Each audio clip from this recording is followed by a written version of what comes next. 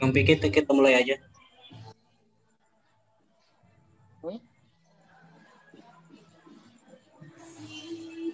Udah siap?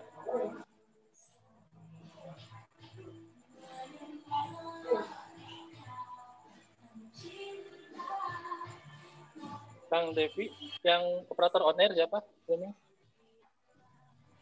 Ya, aduh.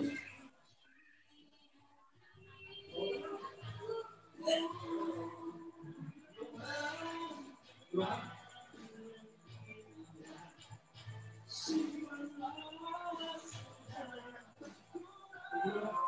live ya? Ayo silakan.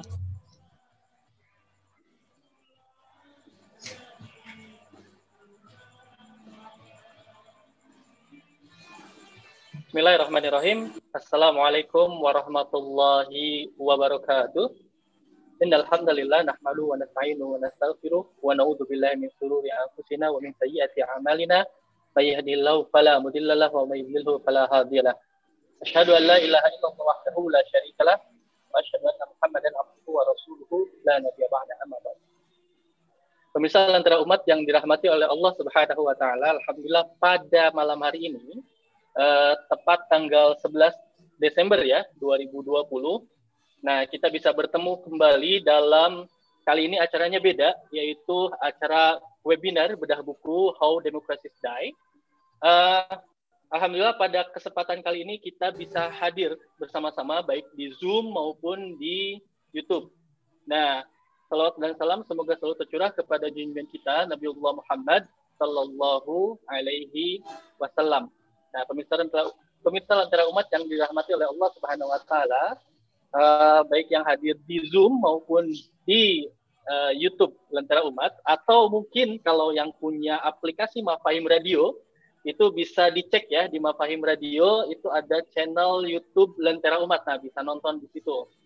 Ini tema kita kali ini yaitu How Democracy Die. Ini memang buku yang uh, sekarang lagi rame ya karena kemarin foto dari salah satu gubernur, ya saya sebutkan saja mungkin gubernur DKI Jakarta yang berfoto dengan apa sedang membaca buku How Democracy Die. Nah, pada kesempatan kali ini kita akan membedah buku ini seperti apa.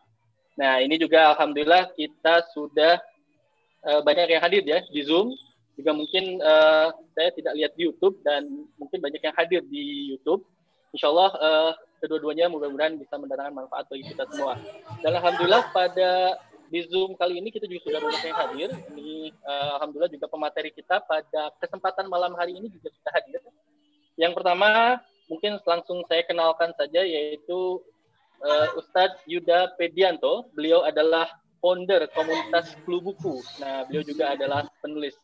Baik, uh, kita sapa dulu beliau ya. Assalamualaikum Ustadz. Assalamualaikum. Waalaikumsalam warahmatullahi wabarakatuh. Mas Pike. Alhamdulillah. Nih Mas Yuda ini sekarang lagi di Jogja ya, Ustaz?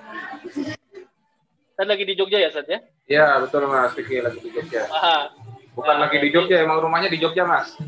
Emang rumahnya di Jogja. Iya, alhamdulillah ya. Jogja eh, antara terus, Jogja dan Sukabumi jaraknya ratusan kilometer, tapi kita bisa bertemu dalam satu forum ya. Nah, dalam satu forum dan ini forum yang luar biasa dan ini pertama kali saya bisa satu forum dengan Ustadz Yuda dan eh, ini luar biasa. Beliau adalah sekali lagi founder komunitas Klub Buku ya, betul ya Ustadz ya? Betul. Ya barangkali sedikit cerita Ustadz. Eh, ini komunitas Klub Buku itu apa nih? Sebelum kita masuk ke bagaimana Eh, bedah Die. Ya, kita komunitas yang intinya sih eh, sama-sama senang baca-baca buku. Mm-mm. satu, kemudian kita mengadakan eh, sebuah agenda rutin yang kita beri nama One Week One Book atau OWOP. gitu. Nah, di situ kami membedah, kita bareng-bareng membedah ada buku-buku politik, buku-buku ekonomi, bahkan juga buku-buku berbahasa Arab karena nanti kami yang terkait juga kita bedah di buku. Gitu, Mas. Mm. Wah, luar biasa ya. Nah, eh, barangkali mungkin buka cabang di Sukabumi. Boleh, boleh, Mas. Boleh ya. Harus ada koordinatornya ya. Baik. Uh, pemateri yang kedua, sebentar saya cek dulu ini sudah hadir atau belum. Uh, yang kedua yaitu pembicaranya Dr. Ustadz Dr. Raden Muhammad Daniel. Beliau ini adalah dosen dan juga pemerhati masalah politik ekonomi. Nah, uh, mungkin karena beliau belum masuk, uh, karena beliau adalah pemateri yang kedua, pembicara yang kedua, narasumber yang kedua. Jadi uh, kita nih langsung aja ke narasumber yang pertama. Baik, Ustaz Yuda, bisa mendengar suara saya, Ustaz ya? Ya, bisa, bisa. Nah, Ustaz, uh, ini How Democracy Day ini sekarang lagi fenomenal, Ustaz. Barangkali mungkin ya. ini memang uh, buku yang sudah cukup lama, tapi karena kemarin rame lagi, kayaknya orang-orang pada penasaran. Bagaimana demokrasi itu bisa mati gitu. Ini kan judulnya How Democracies Die gitu kan. Bagaimana, bagaimana demokrasi bisa mati. Ini kan suatu hal yang wah luar biasa. Barangkali uh, bisa dijelaskan langsung kepada uh, Ustadz Yuda, oleh Ustadz Yuda bisa dijelaskan langsung terkait bagaimana isi dari buku ini gitu kan. Uh, Tafadol, Ustadz Yuda, saya persilakan. Ya. Saya mohon izin share screen ya, Mas. Silakan, silakan, silakan.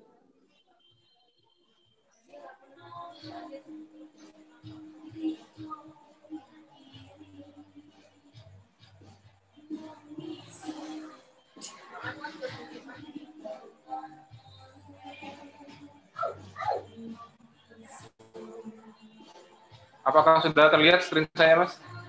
Sudah. Sudah, Dad. Yang Sepertinya judul dua penulis ada ya. dua orang penulis sama judul Iya, ya, betul. Sudah kelihatan ya screen itu gambarnya ya? Iya.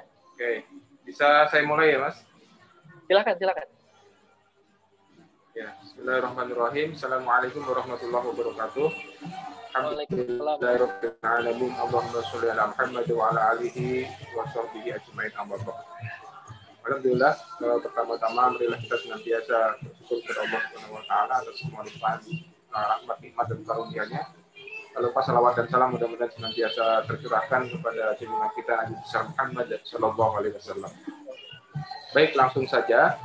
Uh, jadi buku How Democracies Die ini ditulis uh, oleh dua orang uh, political scientist ya, atau ilmuwan politik dari Harvard University uh, salah satu universitas ternama di dunia ya.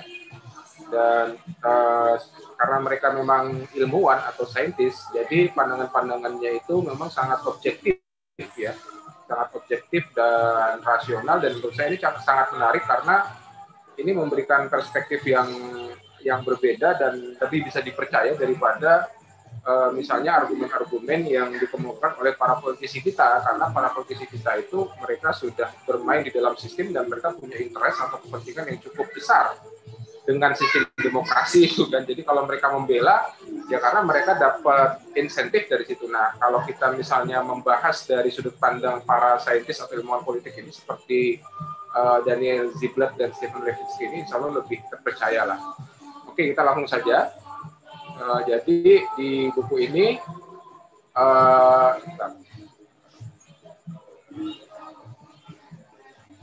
Nah, di bab pendahuluan di buku ini mereka langsung belak-belakan ya. Mereka bertanya apakah uh, demokrasi kita ada dalam bahaya begitu.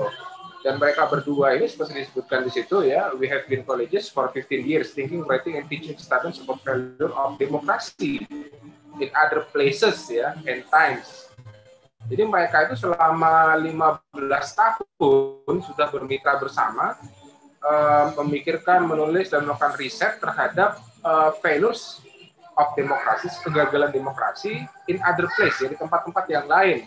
Nah, contohkan misalnya di situ di uh, Eropa, uh, kegelapan Eropa tahun 1930, atau Amerika Latin yang saat itu represif ya, tahun 1970-an jadi bisa dikatakan eh, teman-teman uh, sekalian ini mereka ini spesialis sakratul maut demokrasi begitu. Jadi uh, mereka mengkaji ketika eh, negara-negara uh, itu yang demokrasi sudah sakratul maut begitu ya. Nah, kemudian mereka bilang ini for us how and why democracies die has been an occupational obsession bagi mereka itu bagaimana dan mengapa demokrasi mati itu adalah obsesi profesi mereka sebagai ilmuwan politik tadi itu.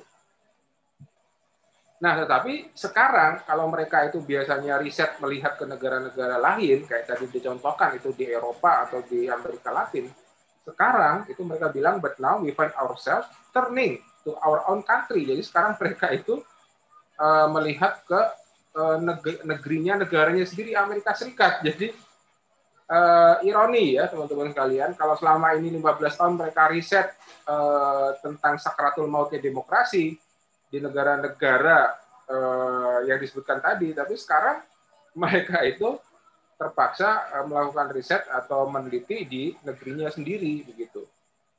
Nah ini tentunya sangat ironi dan mereka sangat khawatir ya karena apa? Karena keadaannya sudah benar-benar mengarah kepada sakratul mautnya atau matinya demokrasi tadi. Contoh-contohnya di sini ya menjadikan lawan politik atau oposisi sebagai musuh kemudian mengintimidasi uh, kebebasan pers, kemudian uh, mengancam menolak pemilu. Bahkan ini terjadi di Amerika sekarang ya, bagaimana uh, si Trump itu menolak pemilu ya. Dan ini hampir merata terjadi di semua negara yang uh, menganut demokrasi gitu. Dan ini perlu saya sampaikan bahwasanya tulisan mereka buku mereka ini keluar jauh sebelum uh, sebelum pemilihan Amerika kemarin ya, teman-teman. Nah, ini menurut saya sangat penting teman-teman. Jadi e, mereka itu menjelaskan ya, e, menjelaskan kesalahpahaman atau mitos yang e, keliru, yang sering itu dipercaya bahwasanya matinya demokrasi itu adalah di tangan orang-orang yang bersenjata gitu. Nah, ini ini adalah gambar yang terjadi kudeta bersenjata yang terjadi di sebuah negara bernama Chile. Ya, di mana di situ presidennya yang bernama Salvador Allende itu dikepung itu istananya namanya La Moneda dikepung dan bahkan dihujani apa namanya bom dari pesawat udara ya di barikade dan dikudeta oleh eh, jenderalnya uh, sendiri yang bernama Augusto Pinochet. Kita mungkin pernah mendengar beritanya itu.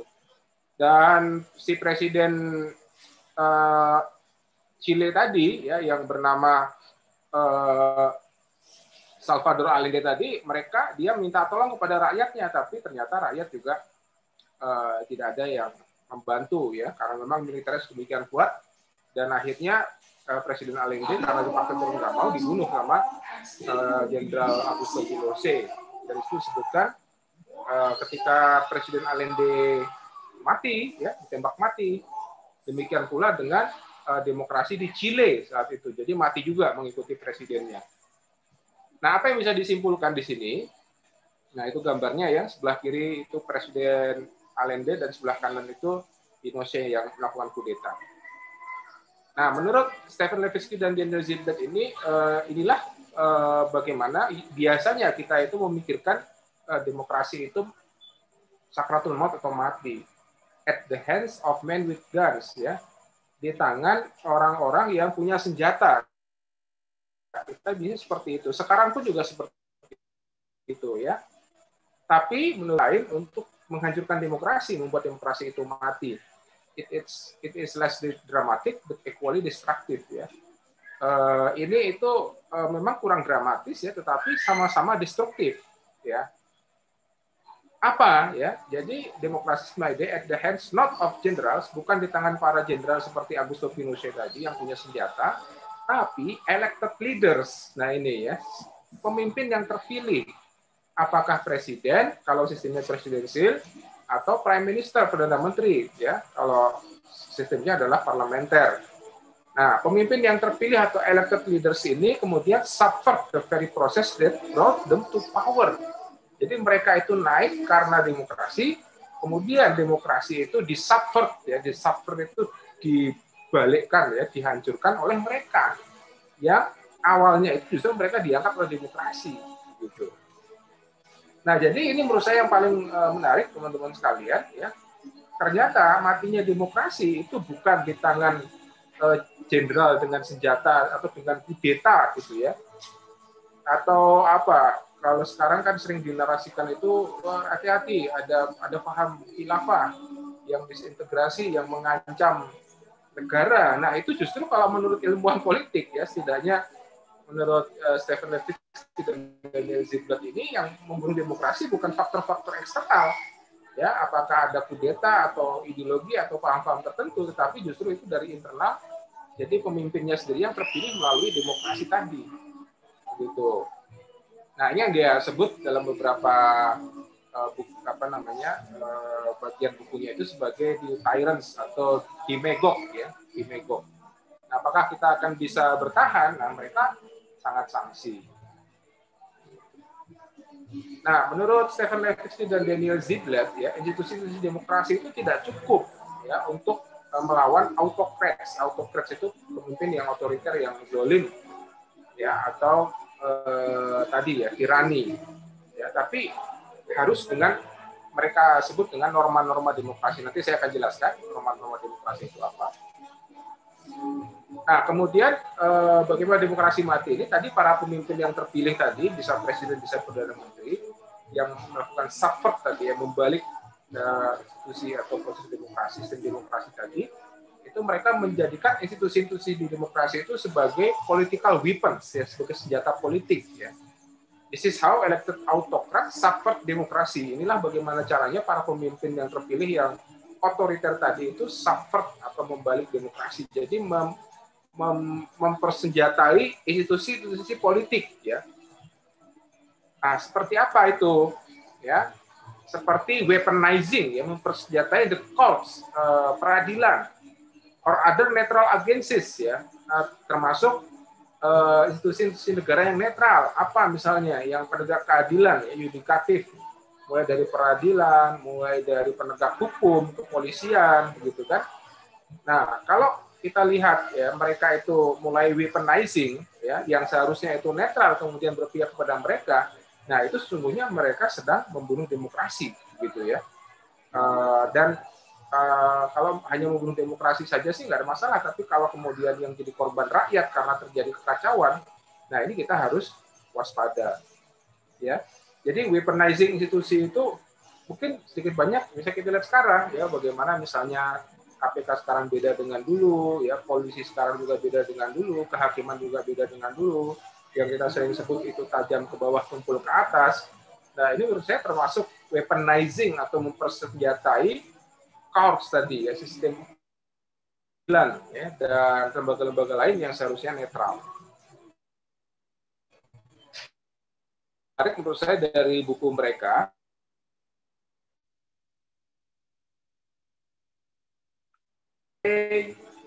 four key indicators of authoritarian behavior ya. Jadi empat kunci indikasi dari perilaku otoriter. Four key indicators of authoritarian behavior.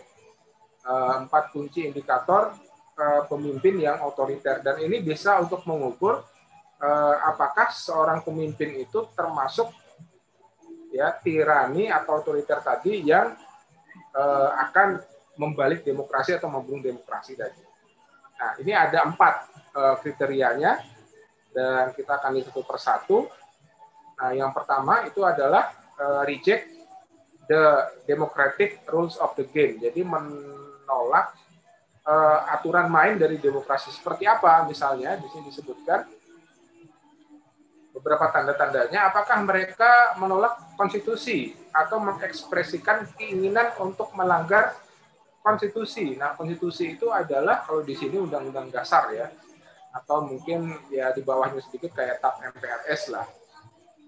Ya. Nah, kita lihat, kita lihat ya, apakah mereka punya tanda-tanda ini yang nomor satu aja, reject the constitution or express willingness to violate it ya. Punya ekspresi-ekspresi gelagat-gelagat eh, keinginan untuk melanggar konstitusi.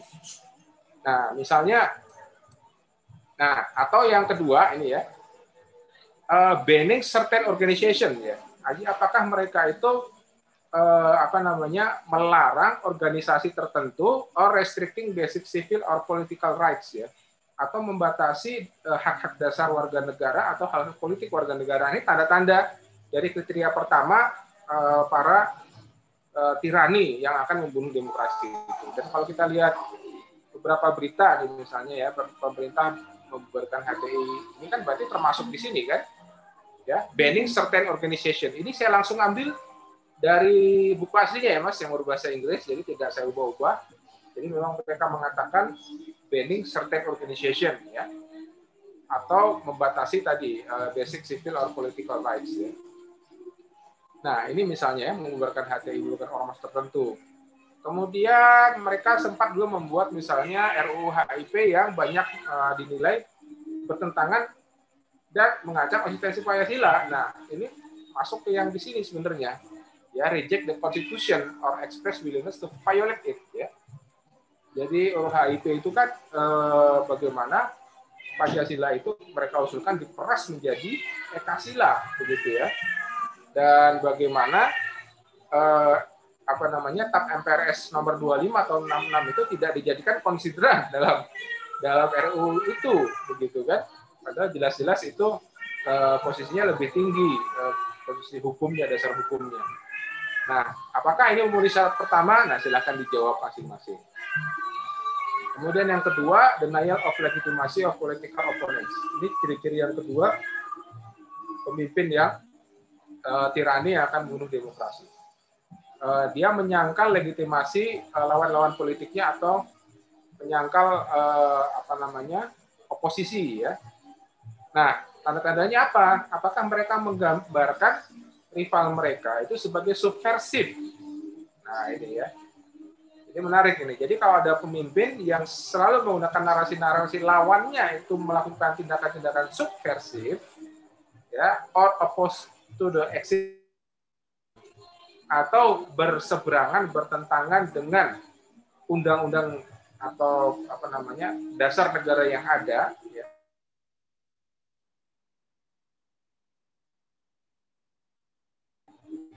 Apakah mereka mengklaim bahwasannya eh, apa namanya rival mereka itu eh, mengancam eh, keamanan nasional ya? Atau mengancam eh, apa namanya way of life ya? Pandangan hidup negara dan seterusnya. Nah, kalau mereka melakukan itu, ya berarti termasuk uh, tirani dan pembunuh demokrasi sebetulnya. Nah, kalau kita lihat misalnya, nah ini ya, pemerintah tegaskan ideologi khilafah bertentangan dengan Pancasila. Nah, mereka itu mengkonfrontasi uh, rival politik mereka, ya dalam hal ini pengusung menurut mereka ya ideologi khilafah itu dikonfrontir dengan Pancasila. Nah, berarti ini kan sudah memenuhi syarat ini ya ya, oppose existing constitutional order ya kan. Yang lain misalnya ya uh,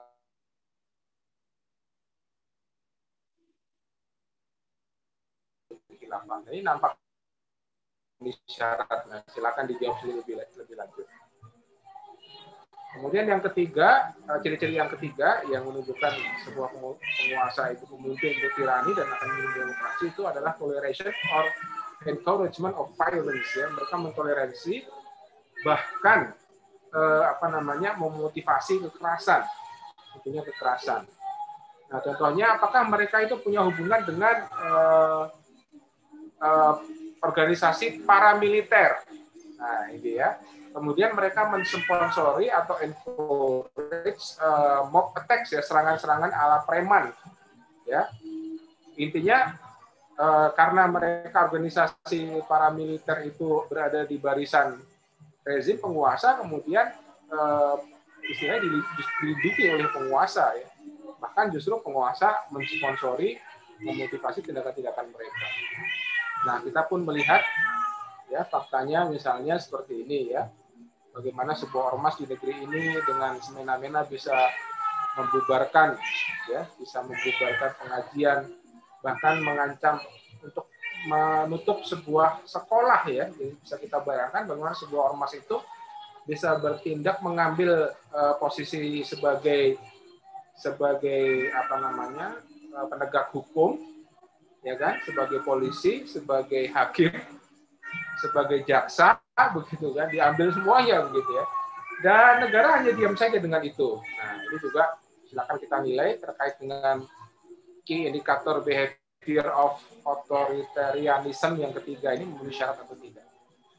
Dan yang terakhir eh, untuk mendeteksi apakah seorang pemimpin itu tirani dan akan membunuh demokrasi itu adalah yang keempat kesiapsiagaan untuk eh, apa namanya memangkas kebebasan sipil, kebebasan sipil termasuk lawan-lawannya ya para oposisinya termasuk media.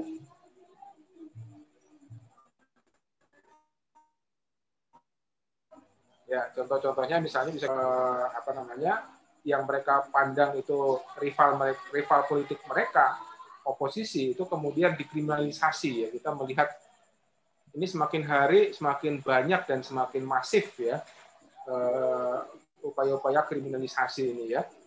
Eh, termasuk yang terakhir seperti uh, Kiai atau Ustadz Gus Nur ya dan bahkan yang peristiwa terakhir terkait dengan uh, apa namanya tertembaknya enam laskar FPI itu kan juga uh, kemudian siapa siapa saja yang istilahnya apa namanya uh, berusaha mementahkan sebaliknya yang diberikan oleh kepolisian akan diancam dipidana dan seterusnya. Nah,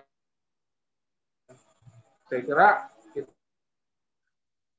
empat uh, indikator otoritarianisme tadi kita bisa melihat apakah rezim-rezim yang ada di dunia ini kan sebenarnya uh, Stephen Levitsky dan Daniel Ziblatt tidak tidak uh, melihat apa namanya secara spesifik tapi dia memberikan rumusan yang itu bentuknya umum ya sepanjang uh, rezim itu menggunakan sistem demokrasi itu bisa dinilai dengan uh, four key behavior indicator of uh, authoritarianism tadi itu. Oke, okay, itu ya. Dan dalam bagian buku ini menurut saya yang terpenting itu uh, pemahaman apa namanya gagasan yang disampaikan oleh Stephen Levitsky dan Daniel Ziblatt itu bahwasannya konstitusi saja itu tidak cukup ya. Konstitusi saja itu tidak cukup untuk uh, membuat demokrasi itu menjadi eksis ya. Di sini di, uh, mereka menjelaskan ya uh, di Amerika Latin ya itu konstitusinya sebagian besar itu copy paste dengan konstitusi Amerika ya sebagian besar copy paste dengan konstitusi Amerika bahkan di sini misalnya di uh, mana ini di Argentina ya kemudian di Filipina itu mulai dari separation of power pemisahan kekuasaan Bill of Rights kemudian pembatasan kekuasaan presiden ya masa waktu presiden itu copy paste uh, konstitusi punya Amerika. Tapi sekalipun demikian, yang terjadi di sana justru tirani begitu. Jadi yang menarik dari sini menurut saya itu di samping tadi ya ada four key behavior indikator untuk menilai uh, pemimpin tiran atau tidak. Uh, Stephen Levitsky dan Daniel Ziblatt ini juga menjelaskan konstitusi saja itu tidak cukup karena banyak negara yang kopas, copy paste, tapi malah jadinya itu tirani. Gitu. Nah terus apa? Uh, yang dibutuhkan. Nah, mereka menyebutkan itu Nah, mereka menganalogikan ya uh, arena perpolitikan itu seperti arena uh, katakanlah main basket, tapi bukan basket ini street basketball. Nah, di street basketball ini uh, menurut mereka kan tidak ada uh, referee itu juri maksudnya.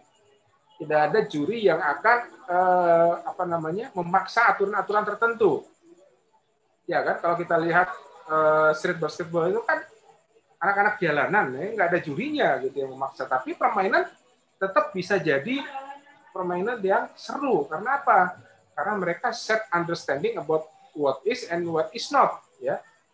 Jadi kuncinya ada set understanding about what is apa yang boleh and what is not ya. Apa yang tidak boleh dilakukan. Nah ini acceptable prevent such games from descending into chaos. Inilah yang membuat uh, permainan itu tidak menjadi chaos gitu loh. Kalau mungkin di Indonesia ya nggak ada ya street basketball ya. Mungkin eh, anak-anak yang main bola di sawah lah misalnya kayak gitu. Itu kan tidak ada jurinya ya. Tapi mereka masih bisa menikmati permainannya. Kenapa?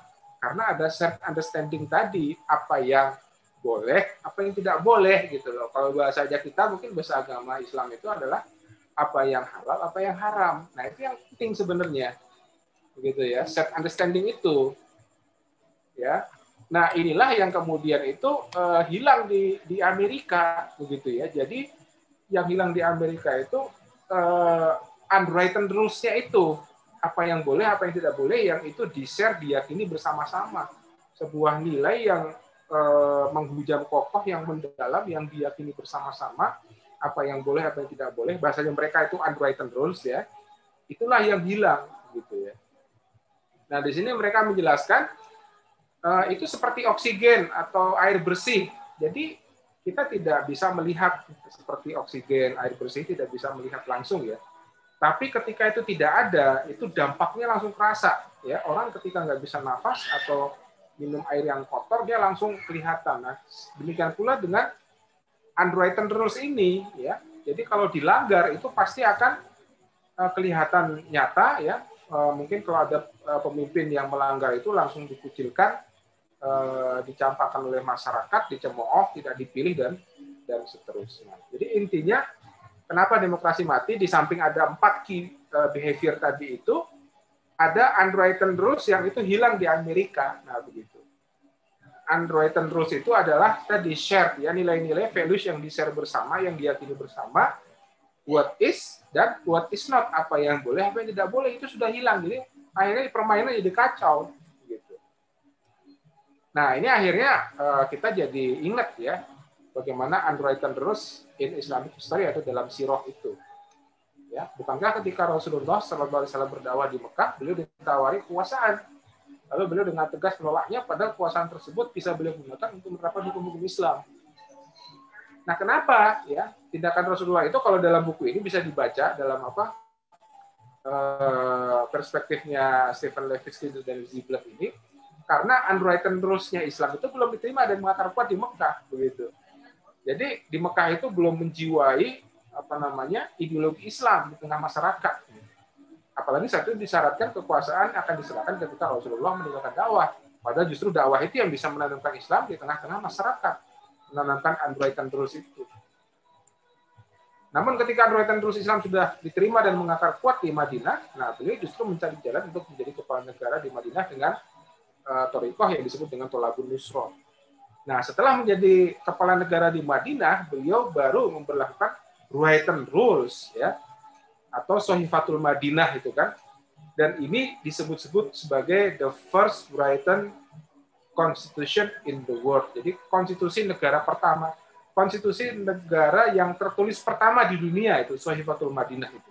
Ya, jadi ini Islam sebenarnya sudah mengajarkan kita menanamkan unwritten rules dulu dengan dakwah tengah-tengah masyarakat sampai itu mendarah daging, mutajasat begitu ya, tentang what is what is not tadi, yang halal yang haram itu baru setelah itu terbentuk ro'yul am, pemahaman yang kuat, nah kemudian baru bicara penerapan uh, oleh negara atau written rules. Nah, jadi sebagai kesimpulan, jadi rapuhnya demokrasi dan ini tidak hanya di buku How Democracy Dies, sebenarnya banyak buku yang lain ya di antaranya yang saya sebut ini adalah On Tyranny.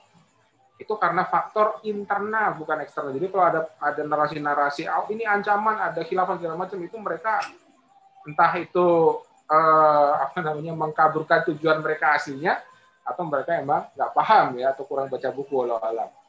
Dan kerapuhan tersebut bersumber dari pandangan hidup sekularisme yang kompromistik dan materialistik Nah ini sebabnya kenapa uh, Stephen Levitsky dan Zibla tidak paham kenapa Androidan rules itu kemudian mudah pudar gitu.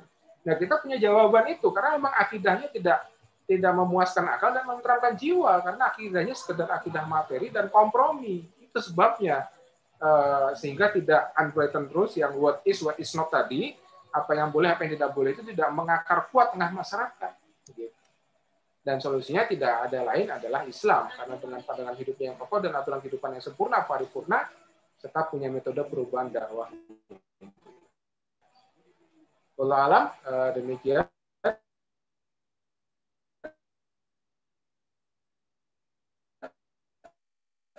Assalamualaikum warahmatullahi wabarakatuh. Waalaikumsalam warahmatullahi wabarakatuh. Uh, syukran jazakallah kepada Ustadz Yuda um, luar biasa ya penjelasannya bahwa salah satu kesimpulan yang paling wow menurut saya itu adalah bahwa demokrasi memang sudah rapuh dan justru matinya demokrasi bukan faktor internal eksternal ya tapi justru justru karena faktor internal itu sendiri. Baik, uh, alhamdulillah pemateri narasumber kedua sudah hadir di apa di bersama-sama kita Baik, uh, Ustadz Yuda, barangkali uh, saya screen bisa di off.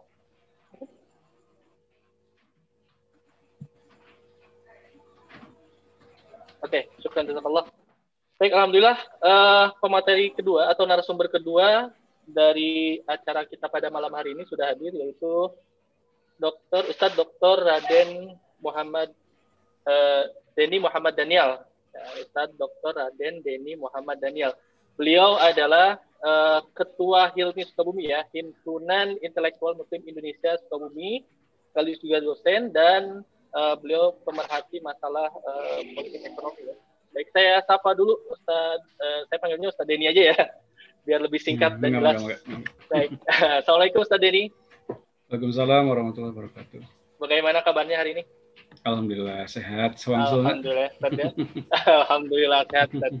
Baik, Tad, uh, tadi sudah jelaskan ya terkait uh, buku How Democracy Die yang memang lagi booming ya sekarang gitu. Walaupun memang buku lama dan sekarang lagi rame lagi gitu. Dan tadi men, apa, mendengar penjelasan dari Ustadz Yuda itu sangat menarik sekali bahwa memang demokrasi itu uh, menurut bahkan menurut penulisnya sendiri ya rapuh dari dari internalnya gitu, dari internalnya. Bahkan demokrasi itu mati justru bukan oleh uh, orang luar, justru sebenarnya dari pemimpin yang terpilih dari proses demokrasi itu sendiri, kemudian pemimpin itu justru menjadi apa menghancurkan demokrasi itu sendiri.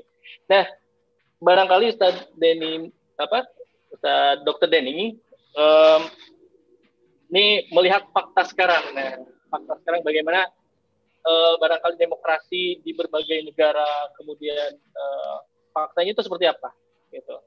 Nah mungkin bisa dijelaskan tentang uh, kita judulnya malam ini temanya demokrasi mati Islam sebagai silakan uh, Ustaz Denny. Dong?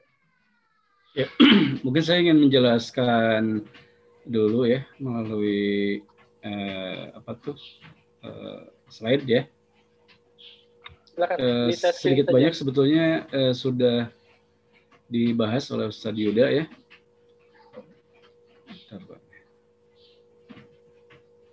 Eh,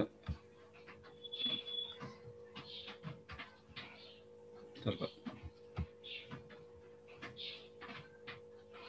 Share-nya, bentar.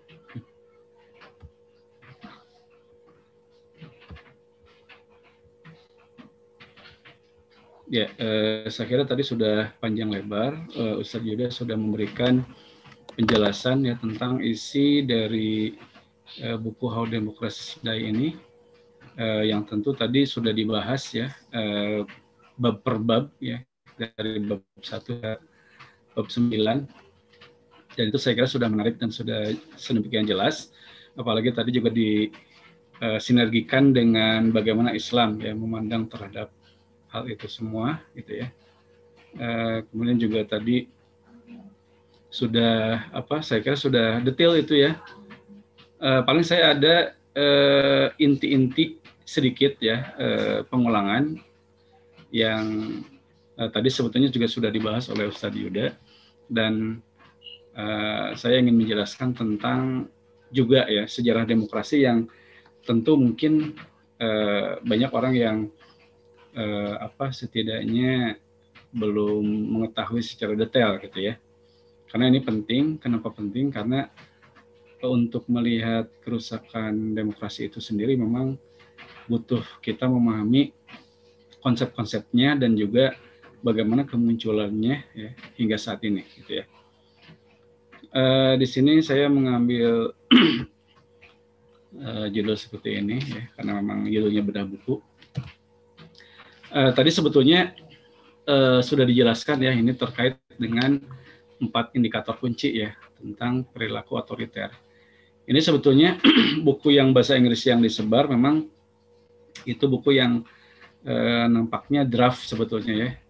Jadi ada buku yang sudah resmi yang dicetak gitu ya. Uh, makanya di sini halamannya cukup berbeda dengan buku yang e-booknya gitu ya yang tersebar uh, tadi sudah dijelaskan sih uh, sebetulnya ya terkait dengan uh, indikator kunci. Ya di mana uh, orang yang perilaku otoriter yang tentu ini dikaitkan dengan pertentangan dengan demokrasi. Jadi yang pertama tadi ya sudah dibahas sebetulnya komitmen yang lemah ya. Bahkan menolak aturan ya aturan main demokrasi. Apa sih aturan main demokrasi itu? Ya Eh, salah empatnya adalah pertama taat konstitusi, ya kemudian uh, ini salah tiganya ya taat konstitusi kemudian pemilu yang kredibel kemudian menjunjung tinggi hak asasi manusia. Tadi sebenarnya sudah dijelaskan uh, terkait dengan empat indikator ini. Kemudian yang kedua menyangkal legitimasi lawan politik. Jadi yang kita ketahui sekarang misalkan uh, kalau di buku itu memang tidak jelaskan ya tentang Indonesia ya. Padahal ini penelitiannya kan sejak saya melihat kayaknya ini sejak tahun 98 gitu ya, eh, ketika krisis moneter, eh, awal mulai penelitian ini. Eh, cuman memang di dalam buku itu banyak dijelaskan sebetulnya semacam kritik terhadap negara Amerika sendiri gitu ya.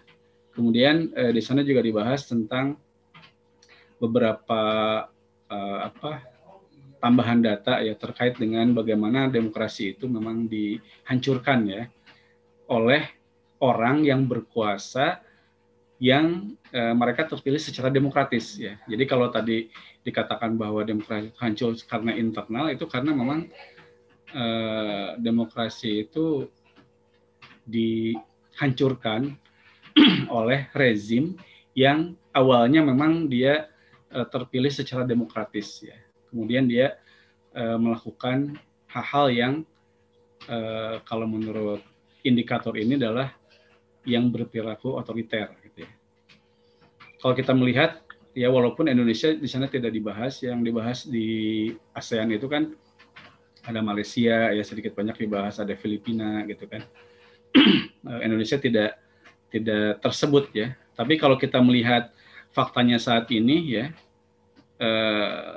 ternyata kalau menurut buku itu rezim yang ada sekarang di Indonesia itu memang berperilaku otoriter ya. Kita melihat misalkan kayak bagaimana e, menyangkal legitimasi lawan politik di mana oposisi itu kan sebagai lawan politik ya menurut mereka. Ada sebutan makar gitu ya, ada sebutan e, apa lawan itu sebagai ancaman nasional ya. E, yang itu adalah salah satu perbuatan yang memang dianggap kriminal. Itu kan kita jelas ya, kita melihat uh, saat ini seperti itu.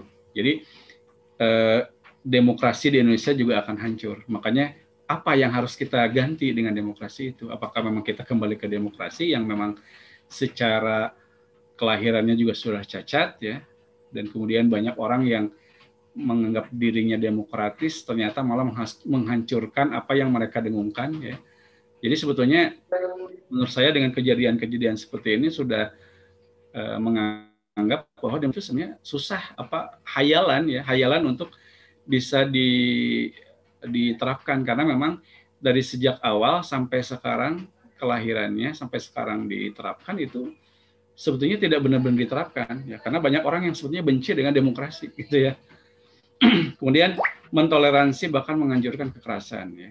Jadi kita melihat ya saat ini kalau kita bandingkan dengan di Indonesia misalkan eh, ternyata eh, apa apa yang dilakukan rezim ya itu ya kalau kita melihat saat ini ya dengan fakta yang terbaru ya terkait dengan anggota FPI misalkan itu kan salah satu dari eh, apa menghalalkan ya, yang namanya kekerasan ya. kemudian yang keempat membatasi kebebasan sipil lawan dan juga media. Nah ini kan media juga di apa dibatasi ya pemberitaannya bahkan diatur sedemikian rupa sehingga yang diberitakan adalah sesuatu hal yang sesuai dengan keinginan rezim. Kemudian eh, ini yang sering diagung-agungkan eh, di Amerika ya konstitusi Amerika ya dia punya konstitusi yang memang banyak ditiru oleh negara-negara lain ya terutama Filipina misalkan Filipina itu memang plok ya. Hampir 100% dia uh, menggunakan atau hampir sama dengan konstitusi di Amerika. Ya ya wajar juga sih memang karena memang uh, mungkin uh, Filipina salah satu dari bagian dari koloni Amerika ya. Sehingga plok tumplok gitu ya. Tetapi memang uh, Marcos pada waktu itu memang mengubah ya mengubah konstitusi yang sudah dibuat sendiri uh, sehingga dia berbuat otoriter dalam hal ini eh, ternyata memang apa berbeda pelaksanaannya ya eh, di lapangan ya yang justru lebih kepada pendekatan otoriter. Dalam ini memang eh, konstitusi yang dibanggakan oleh Amerika itu katanya dibuat untuk mengamankan demokrasi ya dengan cara apa adanya pemisahan kekuasaan ya kita mungkin sering mendengar istilah tres politika ya kemudian ada pengakuan hak asasi manusia kemudian penentuan tentang pembatasan masa jabatan presiden dua kali. Ini semuanya kalau kita lihat uh, secara kacamata Islam ya syarat Islam itu pemisahan kekuasaan ya hak asasi manusia ya atau lebih kita kenal dengan kebebasan ya. Kemudian masa jabatan presiden dua kali ini sebetulnya uh, semuanya ini tidak tidak apa ya tidak kompatibel dengan Islam ya. Uh, misalkan di sini ya pembatasan jabatan presiden dua kali. Sebenarnya kan kalau standar Islam itu sendiri bahwa ya selama ya yang namanya kepala negara itu dia menjalankan syariat Islam itu tidak harus ada masa jabatan gitu kan. Nah, sekarang kita melihat uh, itulah kelemahan demokrasi ya. Jadi ketika misalkan dibatasi ya, karena kalau tidak dibatasi ada kecenderungan otoriter karena merasa kuat, merasa dipercaya masyarakat sehingga bisa berbuat apa pun ya, sehingga dia bisa bertindak semena-mena ya pada akhirnya kalau masa jabatan itu lebih dari dua kali itu karena apa? Karena tidak ada standar perbuatan mereka. Ya standarnya apa? Demokrasi tidak punya standar perbuatan atau tingkah laku gitu ya. Uh, konstitusi pun ini sebetulnya kan uh, apa tidak tidak mengatur rincian ya terkait dengan perilaku ya sehingga di sini uh, tentu ya uh, tidak apa itulah kelemahan yang yang secara nyata yang ada di dalam demokrasi. Nah, kita lihat di sini ya di dalam buku itu ini secara terus terang gitu ya bahwa uh, Ziblatt dan Levinsky itu dia menyatakan bahwa yang namanya konstitusi sebaik apa pun gitu ya faktanya itu tidak bisa menjamin untuk mengamankan demokrasi. Karena apa? Gitu ya. Nah inilah maka uh, maksudnya gini. Jadi apa sih standar demokrasi itu? Itu, itu nggak ada gitu ya. Makanya kalau kita melihat demokrasi uh, di berbagai negara itu saya melihat sepertinya ada perbedaan-perbedaan standar. Standarnya yang mana gitu. Kalau mereka membuat sebuah konstitusi untuk menstandarisasi eh, pelaksanaan demokrasi di sebuah negara itu juga malah ini dikritik ya. Jadi sebaik apa pun konstitusi itu faktanya tidak bisa menjamin uh, pengamanan demokrasi. Karena apa? Yang pertama itu karena konstitusi itu selalu tidak lengkap. Mereka menganggap begitu. Berarti kalau begitu, konstitusi Amerika yang mereka banggakan ya, yang selama uh, berpuluh-puluh tahun katanya bisa menghancurkan sikap uh, otor otoritarianisme ya, presiden seperti uh, Richard Nixon ya, kemudian beberapa presiden yang itu nampaknya mau berbuat otoriter tapi karena konstitusi yang mengamankan sehingga tidak jadi begitu ya. Ini kan kebanggaan mereka. Yang sekarang mereka mungkin membuat buku tahun 2012 ini uh, karena ada ada sesosok presiden Amerika yang namanya Donald Trump ya sehingga saya, saya melihat begitu ya uh, jadi mungkin awalnya apa ya itu hanya penelitian tapi karena ada kasus Donald Trump ya sehingga uh, dibuat dibuat sebuah buku disusun sebuah buku yang akhirnya Eh, kita kita baca saat ini. Gitu. Kembali ke sini bahwa mereka mengakui bahwa konstitusi itu selalu, selalu tidak lengkap, ya, selalu tidak lengkap. Itu yang pertama. Berarti standar apa dong kalau begitu? Kalau tidak lengkap, bagaimana mungkin bisa mengatur, gitu ya? E, apa e, interaksi manusia, misalkan ya? Itu saya kira e, kelemahannya. Kemudian yang kedua, konstitusi selalu memiliki kesenjangan. Ya jadi banyak hal yang seharusnya diatur ternyata terlewatkan. Ya. Terjadi ambiguitas. Ambiguitas itu kayak apa? Yang mendua gitu ya. Jadi apa ya? Eh, tidak konsisten ya atau ya munafik lah kalau istilah disinerikan dengan jiwa seseorang gitu kan. Kemudian yang ketiga konsisten tidak memiliki petunjuk ya untuk mengantisipasi semua keadaan. Ya. Jadi ya karena memang apa ya buatan manusia ya jadi ketika ya secara logika saja manusia itu kan keberadaannya karena sesuatu yang lain dan sesuatu yang lain itu pasti kan tidak tidak boleh sama dengan yang dia ciptakan ya artinya eh, pasti ya kalau kita sebagai orang yang beriman tentu yang menciptakan itu adalah Allah Subhanahu wa taala dan Allah pasti harus berbeda dengan yang diciptakan. Ketika Allah menciptakan manusia, ya, pasti secara logika nggak mungkin dong Allah hanya menciptakan saja. Pasti Allah harus membuat petunjuk. Tapi petunjuk itu harus disampaikan kepada siapa? Tidak langsung ke, man, ke manusia secara menyeluruh Pasti ada seseorang yang ditunjuk sebagai rasul. Maka kita belajar kepada rasul itu untuk mempelajari petunjuk dari Allah Subhanahu wa taala. Nah kalau kita melihat demokrasi itu kan dalam tanda petik ya eh, sebetulnya itu sikap tidak mengakui adanya Tuhan. Tidak mengakui adanya Allah Subhanahu Wa Taala, tidak mengakui adanya Pencipta. Ya, jadi eh, tidak mungkin lah gitu ya eh, konstitusi yang dibuat ya, apalagi yang konstitusi Amerika yang dibangga-banggakan itu bisa mengatur semua aspek kehidupan, kemudian bisa memberikan petunjuk mengantisipasi semua keadaan itu tidak tidak mungkin. Itu itu yang mereka kritik sendiri sebetulnya. Kemudian yang keempat, aturan konstitusi banyak tafsir. Ini mereka mengakui demikian ya karena apa? Ya kita melihatlah gitu ya. Eh, kalau ya secara fakta misalkan DPR membuat undang-undang atau misalkan terkait hukum acara pidana perdata ya itu kan Eh, para pengacara ya penasihat hukum itu banyak penafsiran-penafsiran. Demikian juga konstitusi seperti itu tidak jauh beda. Penafsiran yang tidak terstandarisasi wah itu lebih bahaya lagi gitu ya makanya wajar bisa jadi kan orang-orang atau rezim yang terpilih secara demokratis kemudian dia bisa mentafsirkan konstitusi atau bahkan merubahnya ya ya itulah ya, eh, demokrasi karena karena demokratis ya maka mereka juga untuk mempertahankan kekuasaannya juga bisa merubah konstitusi yang itu mereka katakan demokratis juga pada akhirnya kan begitu. Ini kan tafsiran menurut orang itu tidak demokratis. Yang rezim mungkin itu demokratis. Ini kan tafsiran-tafsiran yang luar biasa. Kemudian yang kelima kata-kata dalam konstitusi merusak semangat hukumnya. Justru eh, apa banyak ya eh, istilah-istilah di konstitusi itu yang harusnya eh, mendukung hukum ya justru ini malah merusak semangat hukum ya. Tapi wong alam ya isi dari konstitusi di Amerika itu seperti apa? Ini menurut buku itu. Saya ingin coba ya menjelaskan tentang uh, apa kelahiran demokrasi itu sendiri. Ya. Uh, demokrasi itu sendiri kan tidak lepas dari sejarah Yunani kuno ya, abad ke-9 sebelum Masehi. Kemudian uh, waktu itu kan terbentuk eh, namanya negara kota negara kota ya. Salah satunya adalah Athena.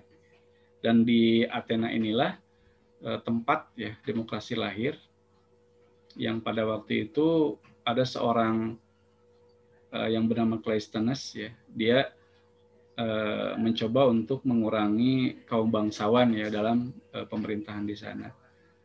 Yang akhirnya kemudian Cleisthenes itu dianggap sebagai bapak demokrasi Athena jadi kalau kita melihat ya bapak demokrasi yang awal itu ya walaupun di Athena itu adalah Cleisthenes gitu.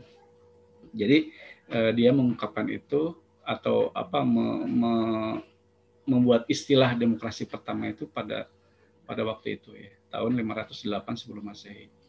Nah, kemudian muncul eh, apa negara kota yang lain ya. Ada eh, Romawi kuno yang pada waktu itu memang mencuri sistem pemerintahan itu seperti apa yang dilakukan di Yunani kuno yang akhirnya memang uh, benar-benar meniru ya. Cuman kalau Yunani kuno itu lebih kepada demokrasi langsung ya. Kalau Romawi kuno itu lebih kepada demokrasi tidak langsung. Walaupun uh, standarisasi demokrasi yang mereka uh, Romawi kuno itu pakai itu adalah dari inspirasi Yunani kuno.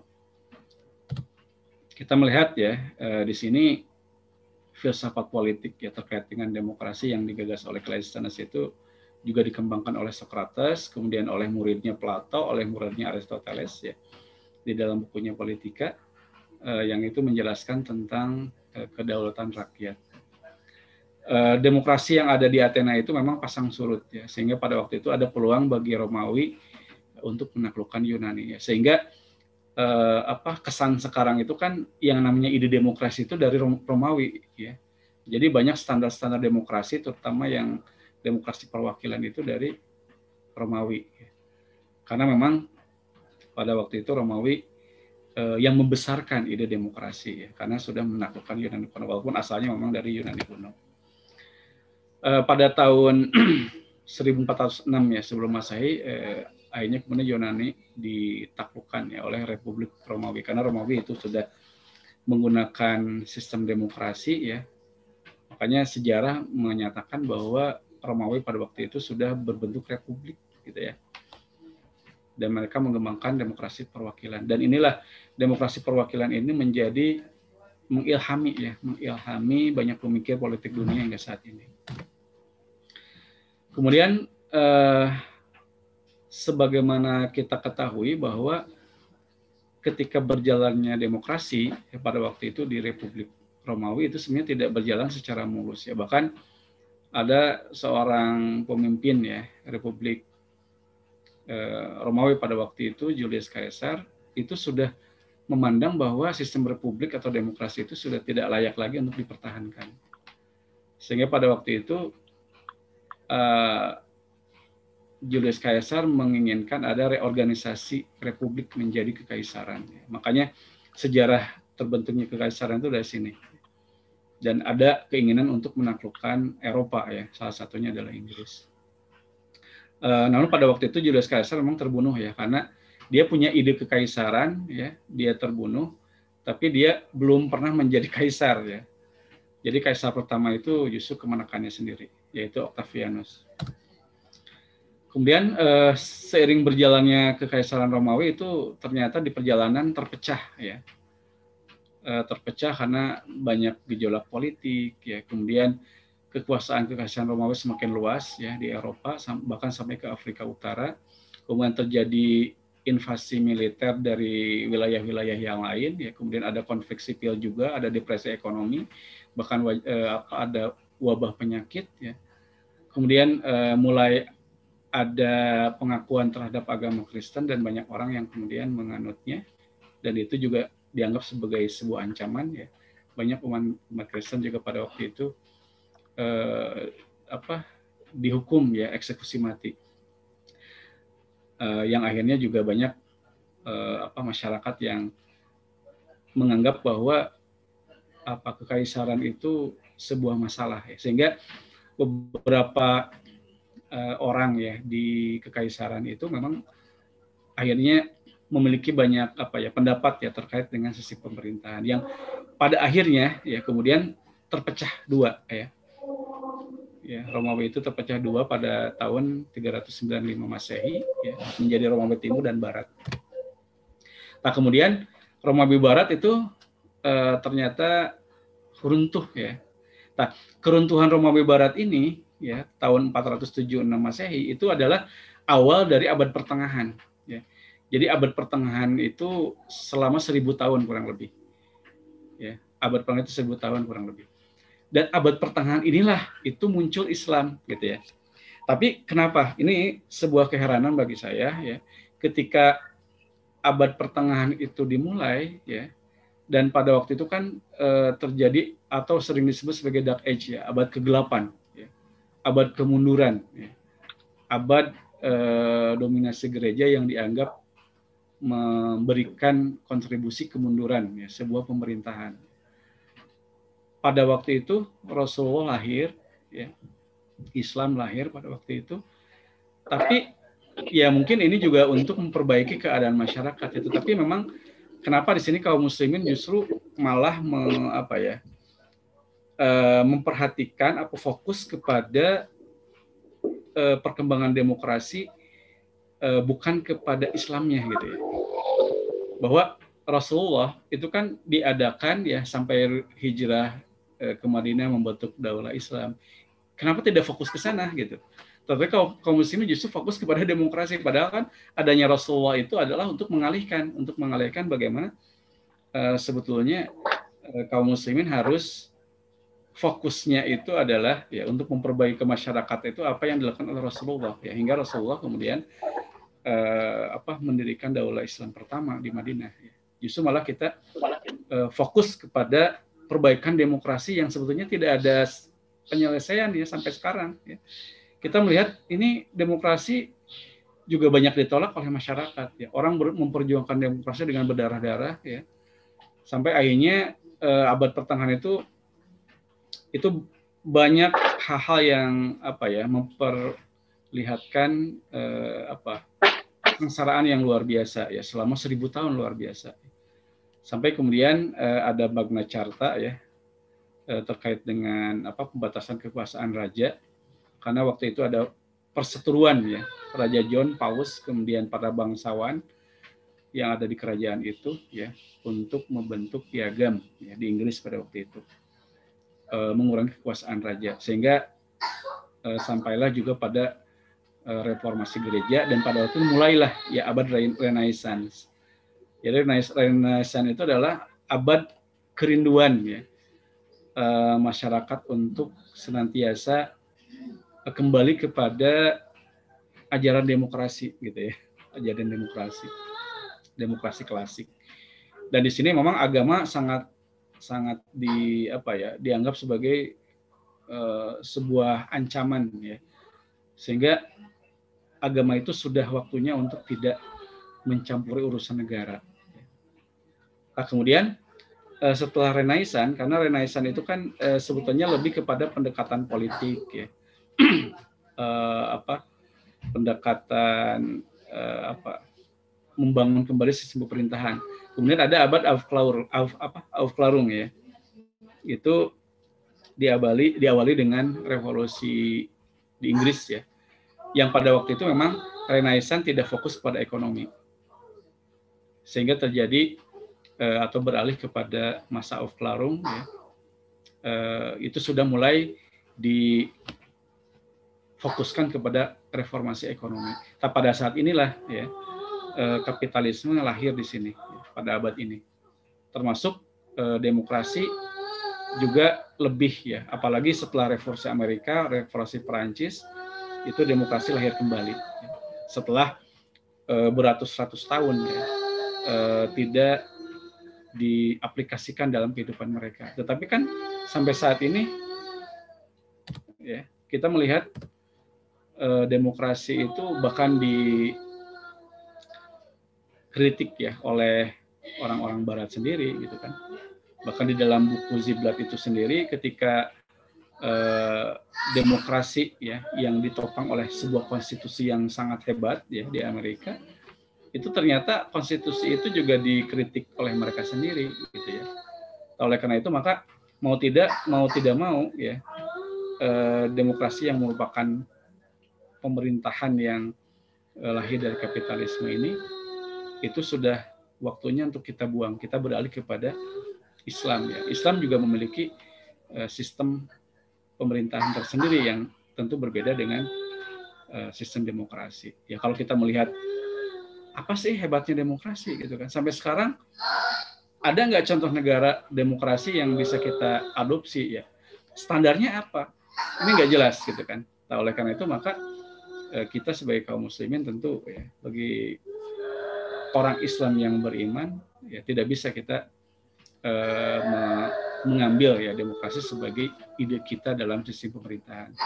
Karena kita melihat begini kalau kita mengacu kepada Rasulullah dulu ya Rasulullah misalkan dengan para sahabat ketika karena kan e, kaum muslimin pada waktu itu di Mekah e, juga di Madinah ya itu sering melaksanakan perdagangan ya ke negeri Syam ya jadi Mekah Madinah kemudian ke negeri Syam ke atas e, di sana juga berinteraksi dengan orang orang Romawi orang-orang Persia ya. kemudian suatu ketika Umar bin Khattab itu pernah ya ber apa uh, mendapatkan sebuah lembaran ya dari seorang Yahudi Bani Quraidah ternyata adalah lembaran Taurat ya. kemudian menyerahkan kepada Nabi Muhammad. Rasulullah kan pada waktu itu mukanya merah itu tanda marah ya. Bahkan ditegur oleh sahabat yang lain ya Umar itu Rasulullah wajahnya tampak kemerahan itu berarti tanda marah nggak senang dengan lembaran itu. Ya sampai kemudian uh, Umar bin Khattab minta maaf. Artinya apa? Kitab Taurat aja ya lembaran kitab Taurat aja yang itu Rasulullah larang padahal Taurat itu kan salah satu uh, dari firman Allah ya yang disampaikan kepada uh, Nabi Musa. Itu saja Rasulullah uh, bahkan kalau Nabi Musa ada saat ini kata Rasulullah kemudian engkau mengikuti Nabi Musa dan meninggalkanku kata Rasulullah maka engkau tersesat ini apalagi demokrasi demokrasi mah dari dari mana gitu kan? Isi kitab Taurat aja yang itu dari Nabi Musa gitu kan? Itu Rasulullah marah luar biasa. Apalagi demokrasi itu dari mana? Kristenes siapa? Apa Kristenes Nabi juga gitu ya? Nah itu ya. Jadi eh, menurut saya sih apa? Ini harus menjadi pemikiran ya bahwa kita harus memurnikan akidah kita ya. Sudah waktunya kita eh, apa menjadikan hanya Islam saja sebagai standar kehidupan kita supaya kita di, tidak dikatakan tersesat ya oleh Rasulullah Muhammad Shallallahu Alaihi Wasallam itu saja mungkin yang bisa disampaikan terima kasih Assalamualaikum warahmatullahi wabarakatuh.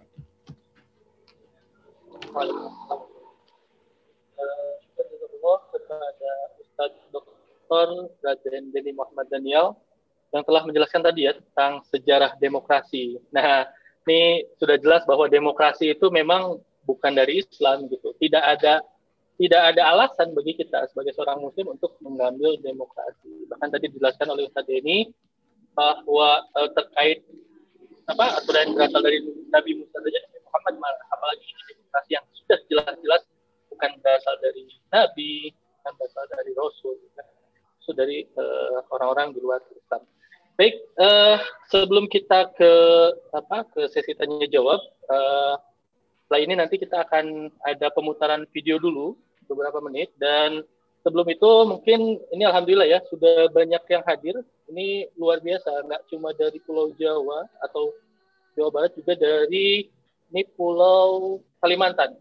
Wow, luar biasa dari Sumatera juga ada, dari uh, Ponorogo, kemudian dari Padang, kemudian dari Serang Banten juga ada, dari Cianjur, dari Riau, termasuk dari Sukabumi ya, Kalimantan Selatan, Banjarmasin, termasuk juga dari Bojonegoro. Alhamdulillah, eh, terima kasih sudah turut hadir dalam acara kita pada malam hari ini. Baik, eh, sebelum ke sesi tanya jawab, eh, saya persilakan kepada operator untuk memutarkan video yang sudah dipersiapkan. Apa dong?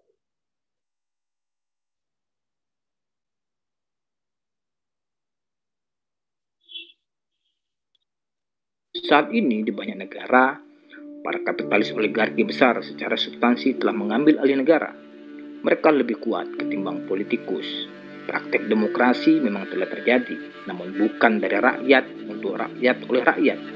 Karena demokrasi pada zaman globalisasi hanya sebuah metode pemilihan melalui pemungutan suara. Sejatinya, kekuasaan pemerintah terbelenggu dan bergantung kepada mereka, para kapitalis. Norina Hirsch dalam bukunya The Silent Takeover memberikan gambaran tergadainya demokrasi.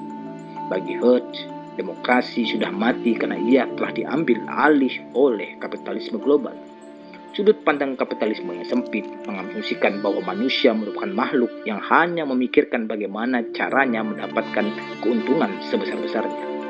Walhasil, saat ini para politisi memang dipilih rakyat, tapi begitu terpilih, politisi tidak peduli dengan konstituennya. Para politisi malah sibuk menjadi pelayan bos-bos perusahaan multinasional atau para kapitalis. Apa pun yang mereka minta dikabulkan, seperti pengurangan pajak, pengendalian serikat buruh, dan pemberian aneka fasilitas impor maupun ekspor. Kebijakan yang merugikan rakyat, merusak lingkungan, kemiskinan, rendahnya kualitas pendidikan adalah hal yang sangat lumrah dan biasa Melihat realitas tersebut menggambarkan kita pada sebuah konklusi bahwa kapitalisme sesungguhnya merupakan sistem yang sama sekali gagal dan tidak mampu menjamin kelangsungan hidup umat. Bahkan realitas ini menunjukkan bahwa kolusi antara pengusaha dan penguasa telah menyebabkan matinya demokrasi yang tak lain adalah senjata andalan para oligarki di sistem kapitalisme saat ini. Kolusi antara penguasa dan pengusaha pada akhirnya mematikan harapan umat kepada para penguasa.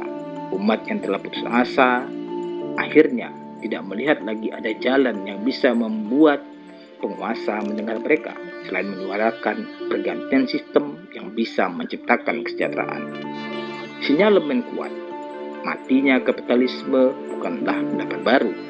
Hal ini pernah diungkap oleh Profesor Asad Zaman dari International Islamic University Islamabad, Pakistan yang menyebutkan bahwa keruntuhan hegemoni Barat sudah tiba masanya. Ia mengatakan bahwa mayoritas masyarakat Barat pendukung kapitalisme saat ini telah kehilangan orientasi dalam mencari apa yang disebut dengan kebahagiaan. Kapitalisme telah mati sejak lama. Hanya saja banyak orang yang tidak sadar dengan keadaan ini. Dan umat Islam menjadi buta oleh kenikmatan rancangan kapitalisme sehingga tidak sadar bahwa sesungguhnya sistem ini telah hancur. Kita perlu untuk kembali kepada sistem terbaik yang dirancang khusus untuk rahmatan lil alamin bukan hanya untuk umat Islam saja tapi untuk semua umat manusia bagi kita umat Islam cukuplah kembali secara kafah dalam penerapan syariah dan tata kelola kehidupan saat ini sebagai solusi fundamental dan paripurna. Dan apa yang terjadi akan kerusakan umat manusia abad ini adalah pembenar dari firman Allah Subhanahu wa taala. Apakah hukum jahiliyah yang mereka hendaki dan hukum siapakah yang lebih baik daripada hukum Allah bagi orang-orang yang yakin.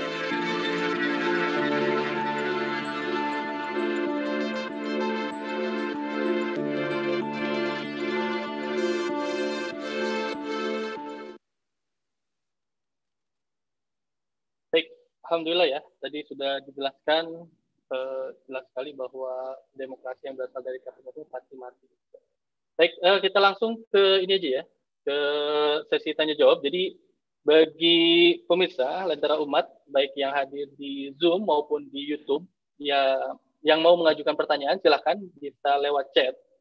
Nanti pertanyaan itu akan dikirim ke saya dan akan saya bacakan untuk disampaikan kepada pemateri. Barangkali uh, pertanyaan pertama saya untuk Ustadz Yuda Rajuda, barangkali bisa dinyalakan videonya dan mic-nya.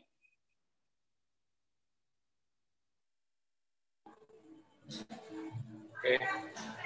Nah, ini ada pertanyaan nih. Um, dari Mas Syahid Nuryadi, um, sejak kapan demokrasi lahir cacat?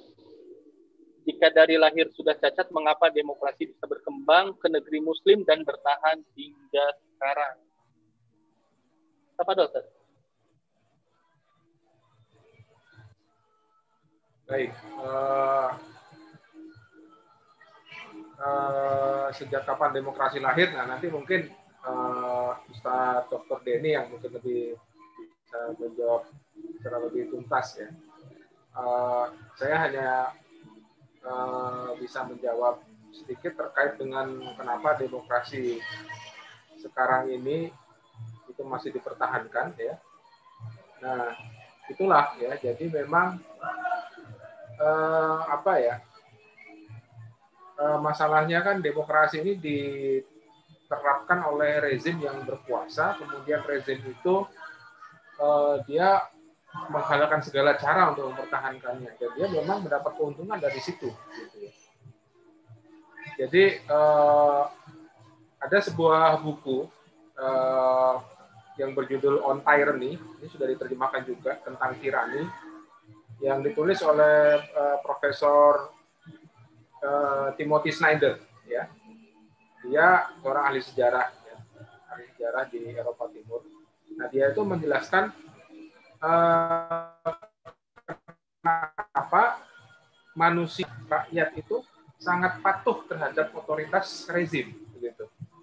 Bahkan uh, ketika re, si rezim ini melakukan sesuatu yang sangat dolim. Nah, di situ di, dijelaskan oleh uh, Profesor Timothy Snyder dalam bukunya On Tyranny itu.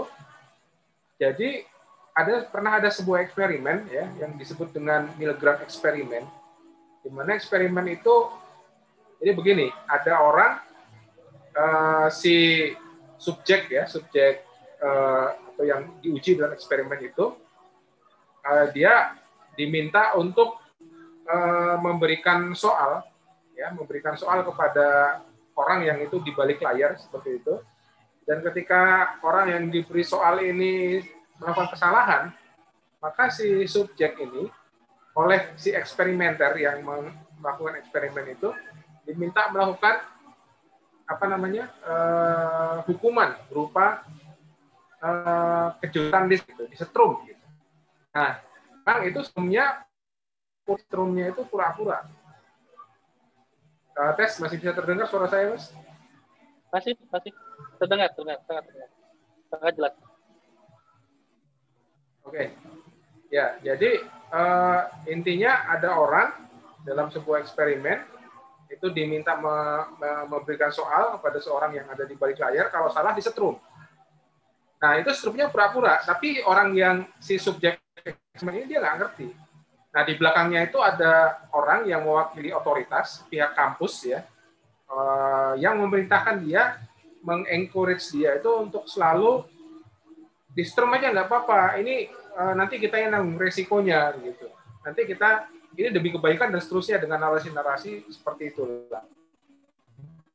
Nah, di sini uh, eksperimen Milgram ini ya, ini untuk melihat sejauh mana kepatuhan rakyat terhadap perintah-perintah yang itu bisa bahkan bisa mencelakai orang lain gitu.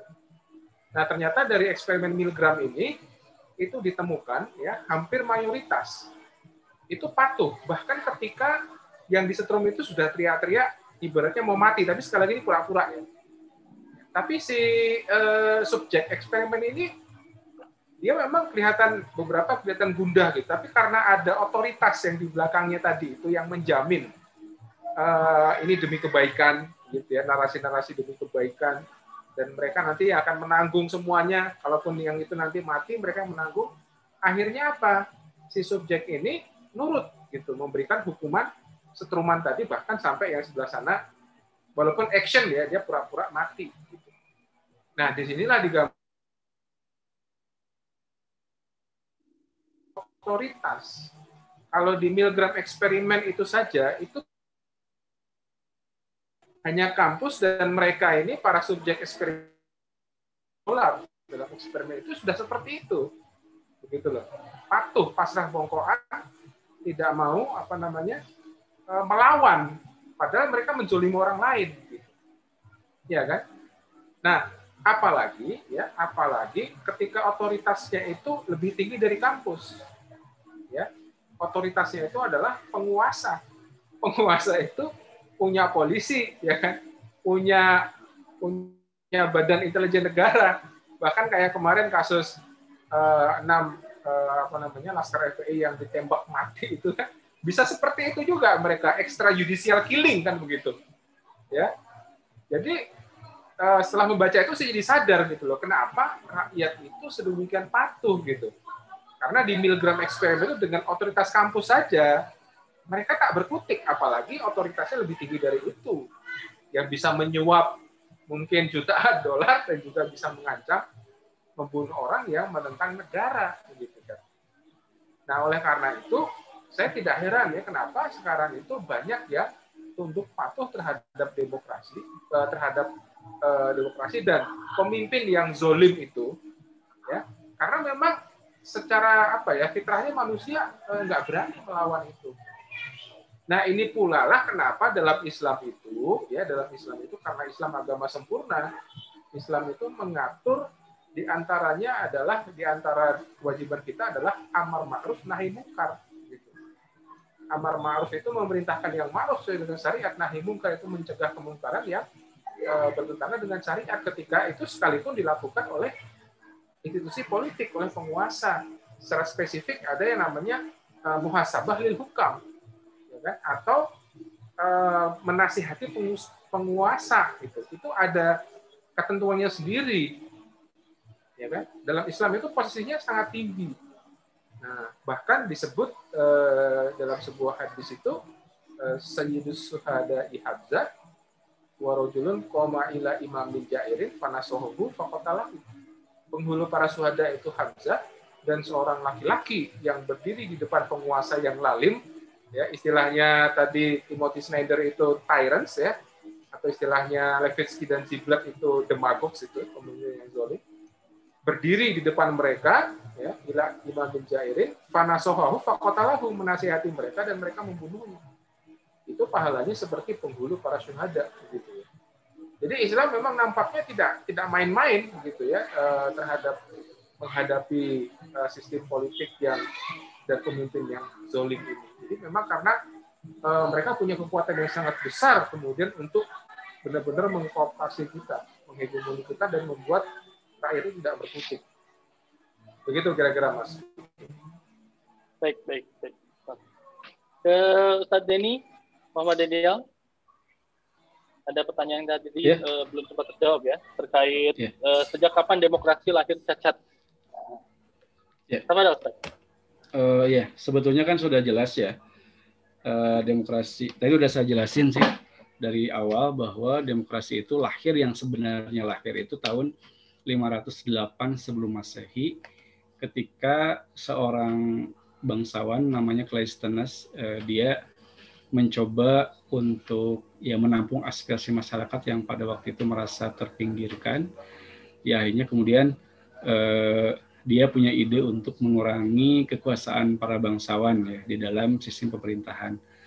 Kemudian uh, Cleisthenes itu menggunakan istilah demokrasi ya pertama kalinya untuk uh, menyebut sistem pemerintahan pada waktu itu. Uh, cuman pada waktu itu kan uh, juga terjadi apa ya uh, perebutan ya eh, apa penaklukan ya Yunani kuno. Karena kan pada waktu itu diawali di Yunani kuno apa Athena ya sebagai negara kota polis atau negara kota. Yang akhirnya kemudian ide-ide demokrasi eh, di Yunani kuno itu diadopsi oleh Romawi ya. Eh, Romawi yang pada waktu itu ide demokrasi diambil sehingga dibentuklah negara kota yang namanya eh, Republik Romawi. Dan ide-ide demokrasi oleh Romawi inilah e, mengalami pengembangan yang yang akhirnya kemudian sampai sekarang sering dijadikan sebagai rujukan ya, terutama e, demokrasi perwakilan. Gitu. Nah, seiring dengan berjalanan waktu, kemudian Republik Romawi itu kan e, berubah menjadi kekaisaran Romawi ya, e, berubah menjadi kekaisaran Romawi yang akhirnya kemudian Romawi terbagi dua kerajaan, ada timur, ada barat. Kemudian yang baratnya runtuh duluan, dan pada waktu itu kan terjadi uh, Dark Age, ya, abad kegelapan. Uh, kemudian agama Kristen mulai mendominasi kerajaan, kekaisaran pada waktu itu. Terjadi uh, banyak uh, apa tuh yang namanya Dark Age itu kan sebutan uh, bahwa Eh, sistem pemerintahan dengan pendekatan Tuhan ya atau teokrasi ya. Ya akhirnya kemudian agama itu dipersalahkan karena membuat kemunduran eh, apa kemunduran masyarakat pada waktu itu itu selama seribu tahun ya. Tapi pada waktu abad pertengahan inilah ya Islam eh, lahir gitu. Jadi sebetulnya itu memperingatkan kita bahwa Islam itu lahir pada waktu itu untuk memperbaiki masyarakat. Gitu.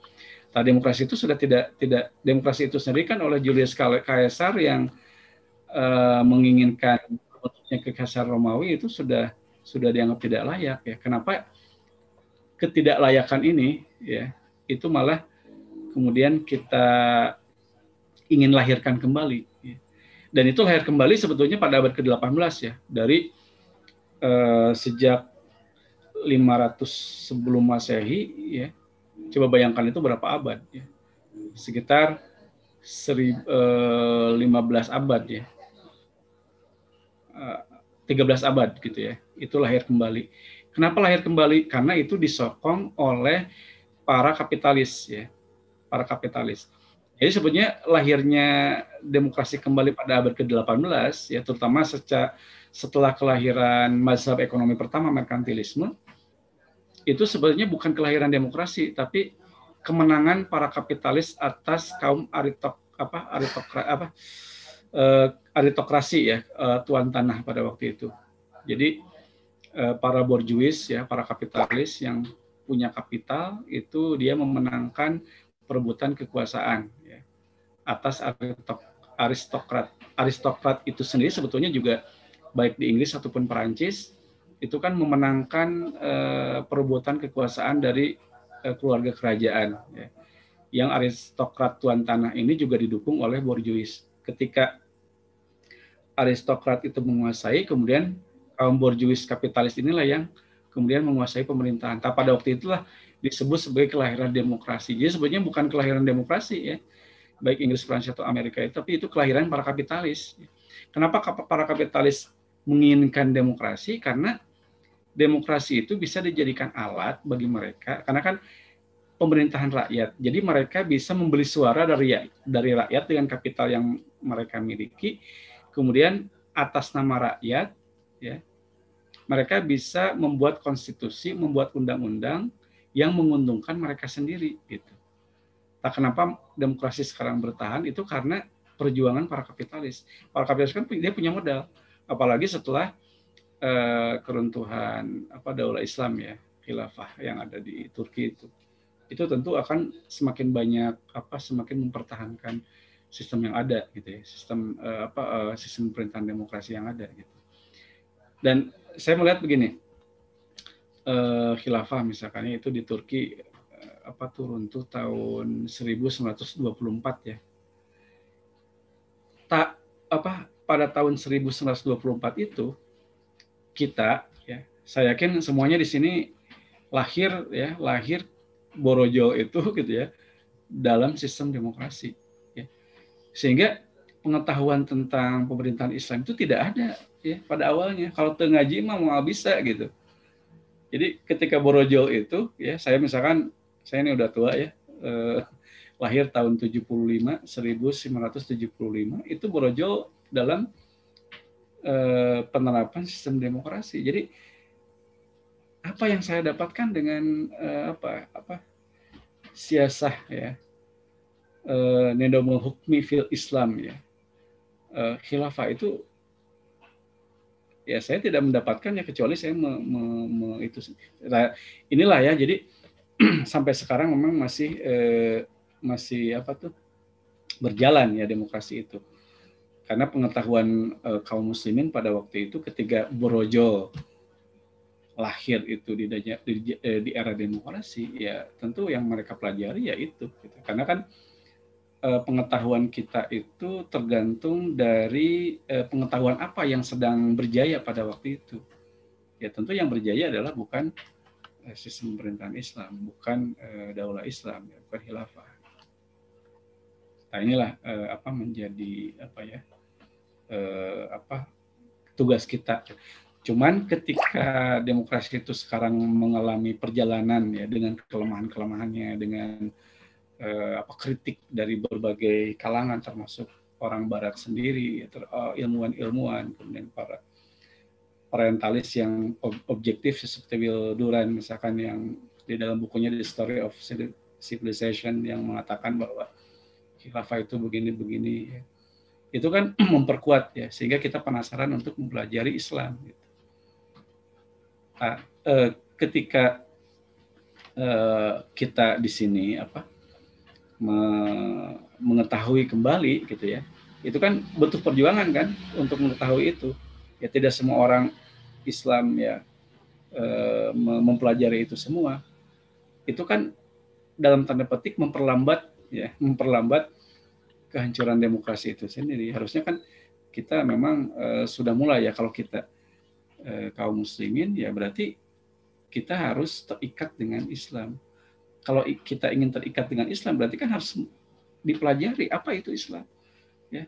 Mulai dari ibadah, Islam itu kan adinul ladzi anzalallahu ala sayyidina Muhammad litandimi ala qatul insan biholik wa bi nafsihi wa bi ghairi min insan jadi Islam itu kan mengatur masalah ibadah, ya hubungan kita dengan Allah, mengatur hubungan dengan dirinya sendiri, ada akhlak, gitu ya, ada bagaimana memanfaatkan pakaian, makanan, minuman, ya kemudian mengatur juga hubungan manusia dengan manusia yang lain, ya ada ada sisi pemerintahan, ada pendidikan, ada muamalah, ya ekonomi, ya eh, pendidikan, politik dan sebagainya. Nah itu kita pelajari semuanya sehingga kita mengetahui oh ternyata Islam juga mengatur sistem pemerintahan. Nah ini untuk mempercepat itu ya tergantung diri kita gitu sehingga eh, mem, apa, mempercepat pemahaman terhadap Islam itu sama dengan mempercepat kehancuran demokrasi.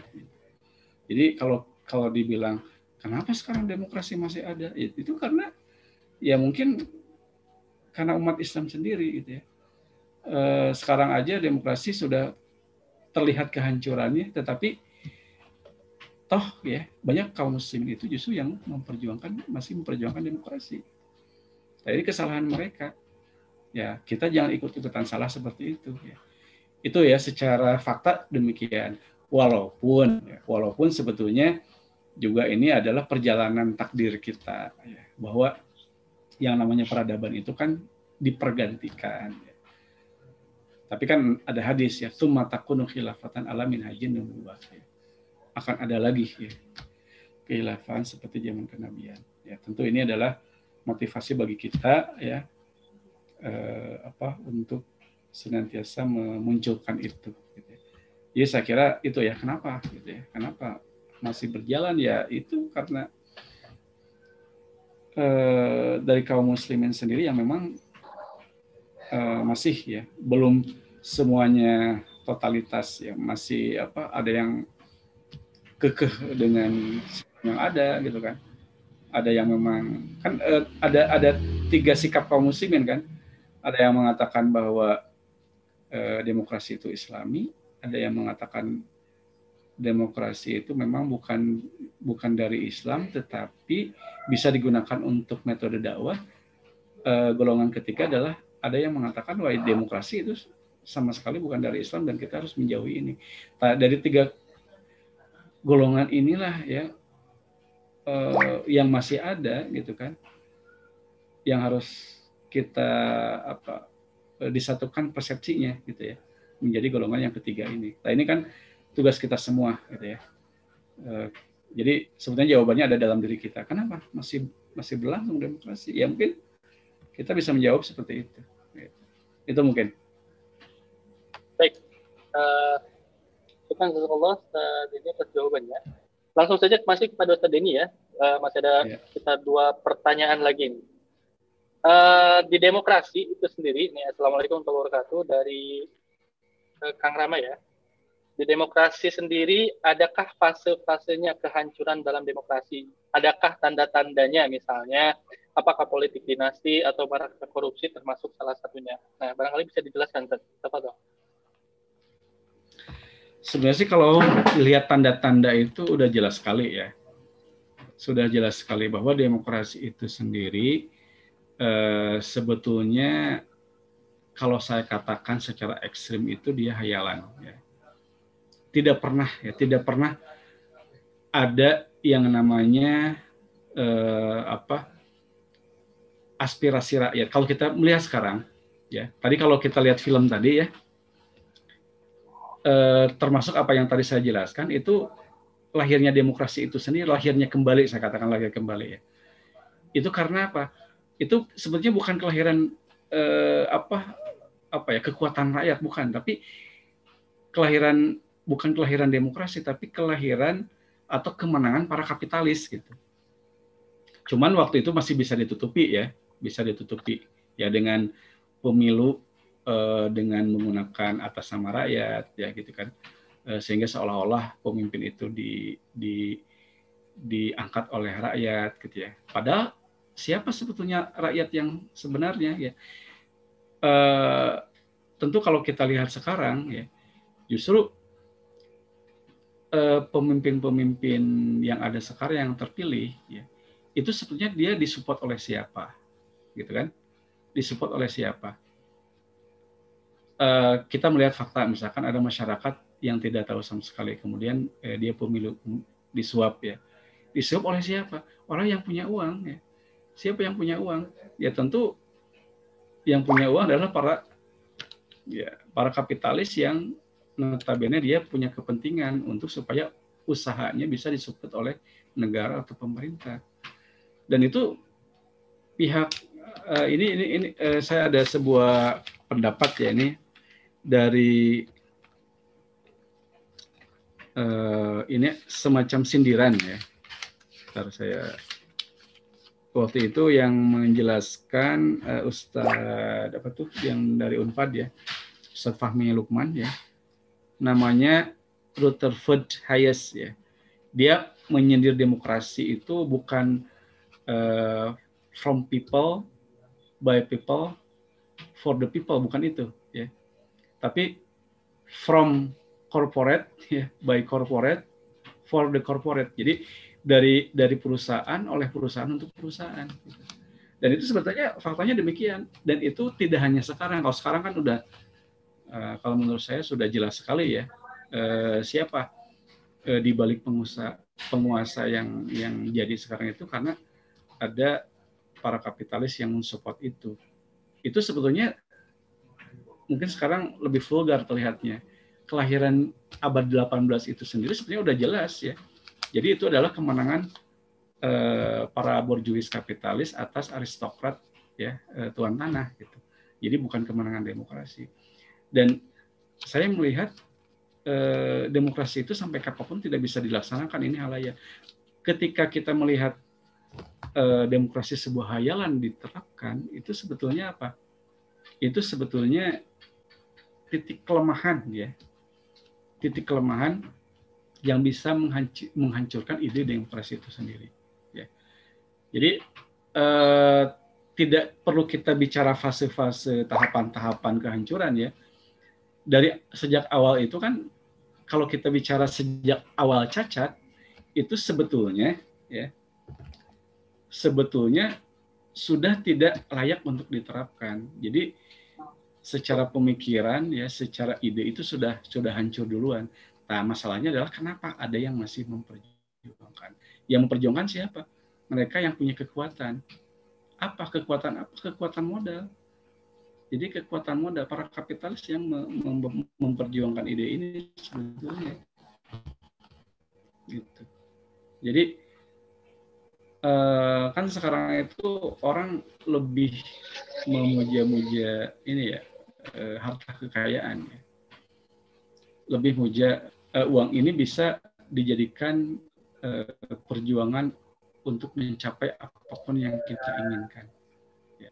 Jadi ah, inilah uh, apa harus ada yang sekarang kan yang namanya kekuatan modal itu memang mendominasi sekarang ya uh, sistem pemerintahan. Nah sekarang kalau tidak kalau tidak pakai modal ya orang tidak tidak akan bisa bisa jadi uh, penguasa ya Kan berbeda ketika zaman ketika Rasulullah meninggal, kemudian diangkat Abu Bakar ya.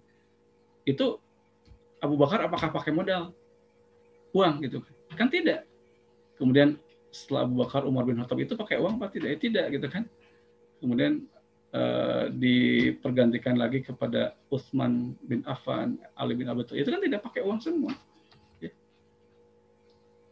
Jadi uh, sekarang itu yang bisa mempertahankan demokrasi adalah kekuatan modal, kekuatan uang. Gitu. Dan inilah titik kelemahan yang eh, pasti lama kelamaan itu akan karena apa? Karena sudah jelas ya kalau misalkan kekuatan modal yang menggerakkan demokrasi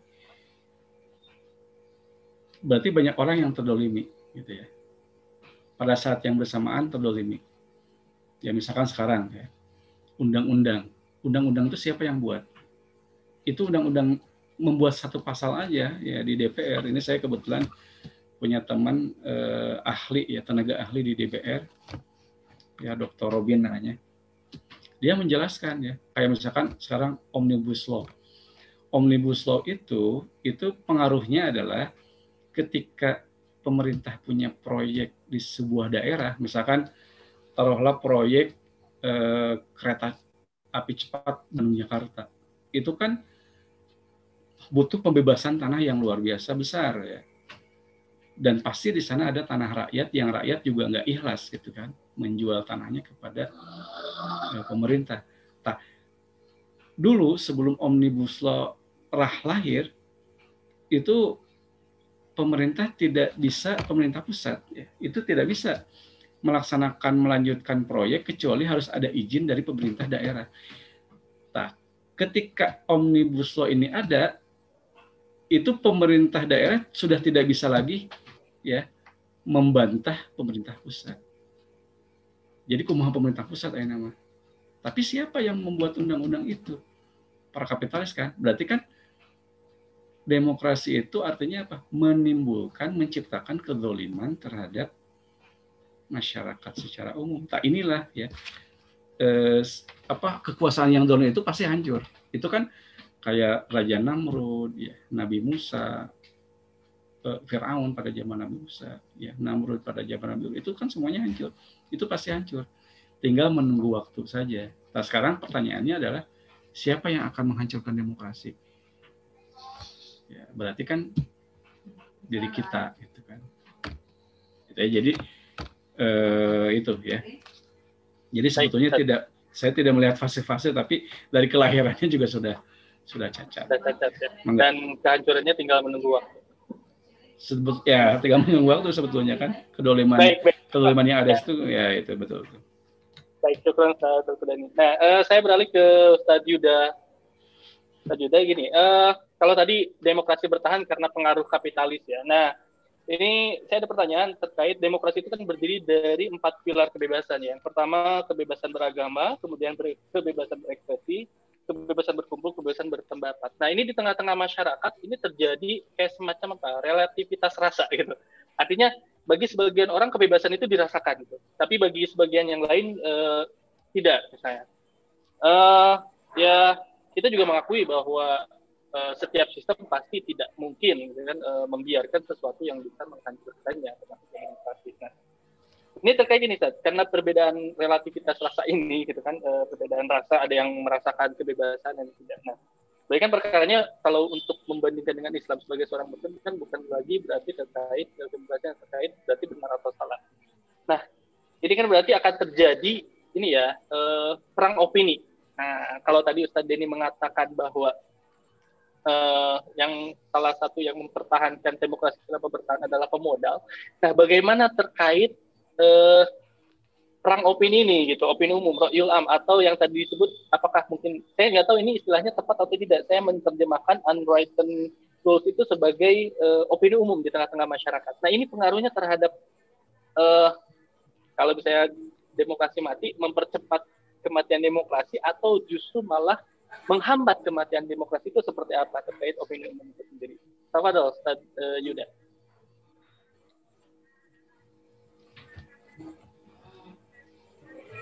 Ya, uh, jadi begini, Mas uh, Vicky. Jadi uh, bagi kita seorang Muslim tadi sudah sebenarnya disampaikan sangat jelas oleh Ustaz uh, Dr. Benny ya, bahwasanya uh, saat ini itu uh, banyak para pakar yang itu berasal dari uh, Amerika ya dan kebanyakan mereka dari akademisi uh, dan memang cukup kredibel gitu ya seperti dari Harvard dan universitas-universitas ternama di sana yang uh, sudah menunjukkan memang sistem demokrasi ini uh, secara internal ini bermasalah begitu. Ya tadi uh, misalnya uh, Stephen Levy dan Daniel Ziegler, kemudian ada misalnya yang pengairannya itu uh, Timothy Snyder, ya kemudian yang lain misalnya uh, ada Ben Shapiro dan uh, banyak penulis-penulis yang lain yang menunjukkan bahwasanya memang demokrasi ini uh, bermasalah begitu. Nah seharusnya uh, kita sebagai seorang Muslim ya itu kan harus bisa membaca ya, membaca keadaan ini kemudian mensikapi dengan tepat, dengan tepat dalam artian sejalan dengan uh, apa yang diinginkan diinginkan oleh Allah Subhanahu wa taala dan sesuai tuntunan Rasulullah Shallallahu alaihi wasallam. Nah, kalau uh, demokrasi saja ini sudah banyak uh, banyak cacatnya kemudian sekarang ini sudah katakanlah sakratul maut ya dan sakratul mautnya itu uh, persoalannya karena dari internal demokrasinya sendiri memang karena bukan karena faktor-faktor eksternal tapi memang dari dalam demokrasi sendiri itu memang bermasalah karena itu tidak kuat ya karena tidak apa namanya eh, berlandaskan pandangan hidup yang benar atau akidah yang benar begitu kan. Nah, maka bagi seorang muslim menurut saya ini uh, challenge-nya adalah bagaimana kita kemudian benar-benar uh, memahami agama kita dan mengamalkannya secara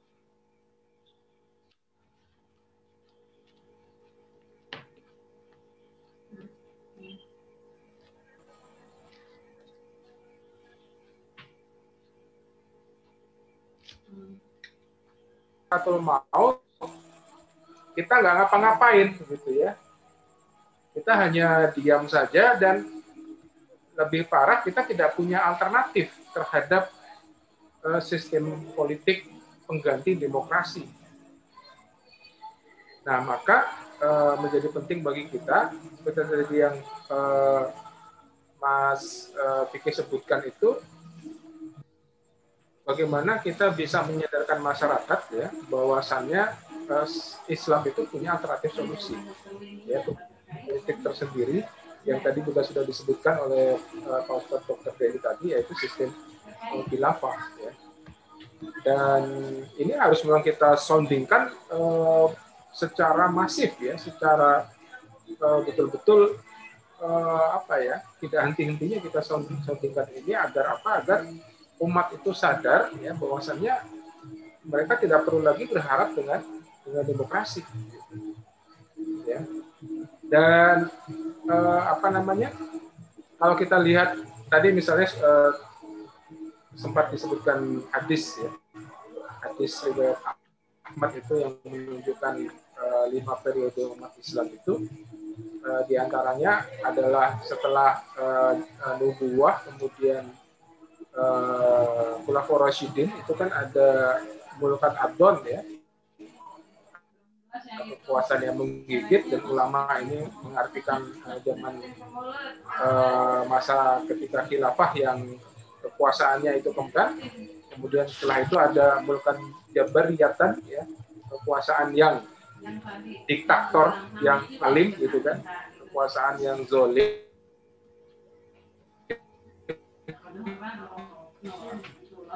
Nah, ini para ulama eh, mutakhir ya. Studi-studi yang dilakukan tadi misalnya dilakukan oleh eh, Levitsky dan Ziblatt atau Snyder atau ilmuwan-ilmuwan politik yang lain, bahwa sekarang ini eh, sistem demokrasi tengah bermetamorfosis menjadi tirani kan gitu.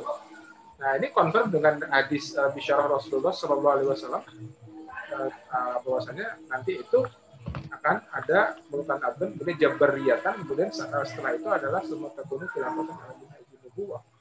Nah, ini saya kira relevansinya menjadi lebih kuat lagi eh, bagi kita sebagai kaum muslimin untuk apa? Untuk memahami uh, khilafah itu seperti apa, kemudian menyampaikan ke masyarakat agar masyarakat paham dan mereka tidak lagi berharap kepada demokrasi, tapi berharap pada sistem Islam semata, insya Allah. Demikian, Mas. Baik, tidak. Ini pertanyaan terakhir dari saya buat Ustaz Yuda. Ketika demokrasi mati, nah kalau tadi uh, Ustaz Dedi bilang tinggal menunggu waktu, apakah akan otomatis bahwa setelah demokrasi mati itu Islam akan bangkit? Nah, tinggal saja jawabannya, Ustaz. Silakan. Nah, ini tergantung kepada kita, ya. tergantung kepada kita apakah kita umat Islam itu mampu uh, menyadarkan masyarakat ya untuk mencapai demokrasi dan uh, menerapkan sistem Islam. Jadi kita terus terang sekarang berpacu dengan waktu ini, Mas uh, dan teman-teman. Kalau konten-konten uh, dakwah yang kita sampaikan masih seperti ini saja, ya. artinya mengkerdilkan Islam itu hanya misalnya ubudiyah, ya itu saja terus terus disampaikan di khotbah-khotbah Jumat, di pengajian-pengajian, ya nanti ketika demokrasi runtuh umat tidak paham alternatifnya apa begitu. Nah maka kita harus senantiasa menyadarkan kepada umat eh, konten-konten dakwah Islam eh, yang kafah di antaranya adalah pengaturan eh, sistem pemerintahan dalam Islam. Nah kalau kita dakwahnya gencar ya dan umat itu paham, nah jangankan menunggu runtuhnya demokrasi mas gitu mungkin ketika demokrasi masih bertahan kuat-kuatnya itu ya ketika umat berkehendak untuk mengganti insya Allah akan tergantikan insya Allah Jadi tergantung usaha kita nih sejauh mana kita berusaha memahamkan masyarakat bahwa Islam juga punya aturan uh, yang mengatur terkait kehidupan manusia gitu ya seperti itu. Baik, uh, ya. saya ucapkan terima kasih kepada Ustadz Dr. Raden Muhammad Daniel dan Ustadz Yuda Pedianto atas uh, waktunya malam ini kita bisa berdiskusi bareng-bareng ya. Ini sebetulnya masih ada pertanyaan, namun karena waktu yang sudah malam dan uh, kita juga harus membatasi waktu, mohon maaf bagi pertanyaan-pertanyaan yang tidak dibacakan, mudah-mudahan nanti kita akan bikin uh, kajian lagi, diskusi lagi, dan mudah-mudahan dan nanti ada pertanyaan-pertanyaan semuanya bisa dibacakan. Jadi sekali lagi terima kasih kepada Ustadz Dr. Raden Deni Muhammad Daniel dan Ustadz Yuda Fedianto atas waktunya malam ini dan sudah menjelaskan terkait buku How Democracies Die. Jadi uh, kematian demokrasi memang bukan justru karena faktor eksternal, justru karena faktor internal itu sendiri. Karena memang uh, tadi dibilang ya bahwa demokrasi memang sudah cacat dari lahir dan uh, kematian demokrasi tinggal menunggu waktu. Namun demikian, pertanyaannya adalah ketika demokrasi menemukan kematiannya, apa yang akan bangkit? Nah, ini tergantung dari kita. Seperti tadi Ustadz Yuda bilang bahwa Islam bangkit, apakah Islam yang akan bangkit? Ya itu tergantung dari usaha kita. Bagaimana kita memahamkan masyarakat, bagaimana kita membentuk opini opini tengah masyarakat bahwa Islam memiliki seperangkat aturan yang mengatur kehidupan manusia umat Islam juga dan lainnya. Baik, uh, terima kasih kepada yang sudah hadir baik di YouTube maupun di Zoom, juga kepada kedua pemateri kita, kepada panitia yang uh, sudah berusaha keras ya luar biasa atas terselenggaranya uh, kajian pada malam hari ini. Saya Vicky Fauzi, mohon maaf apabila banyak kesalahan. Jadi setelah ditutup, jangan buru-buru uh, untuk menutup channel atau uh, apa keluar dari Zoom. Kita ada satu pemutaran video lagi dan uh, setelah itu nanti boleh selesai ya. Jadi saya mohon maaf apabila banyak kesalahan. Saya Vicky Fauzi. Terima kasih uh, atas nama panitia. Wassalamualaikum warahmatullahi wabarakatuh.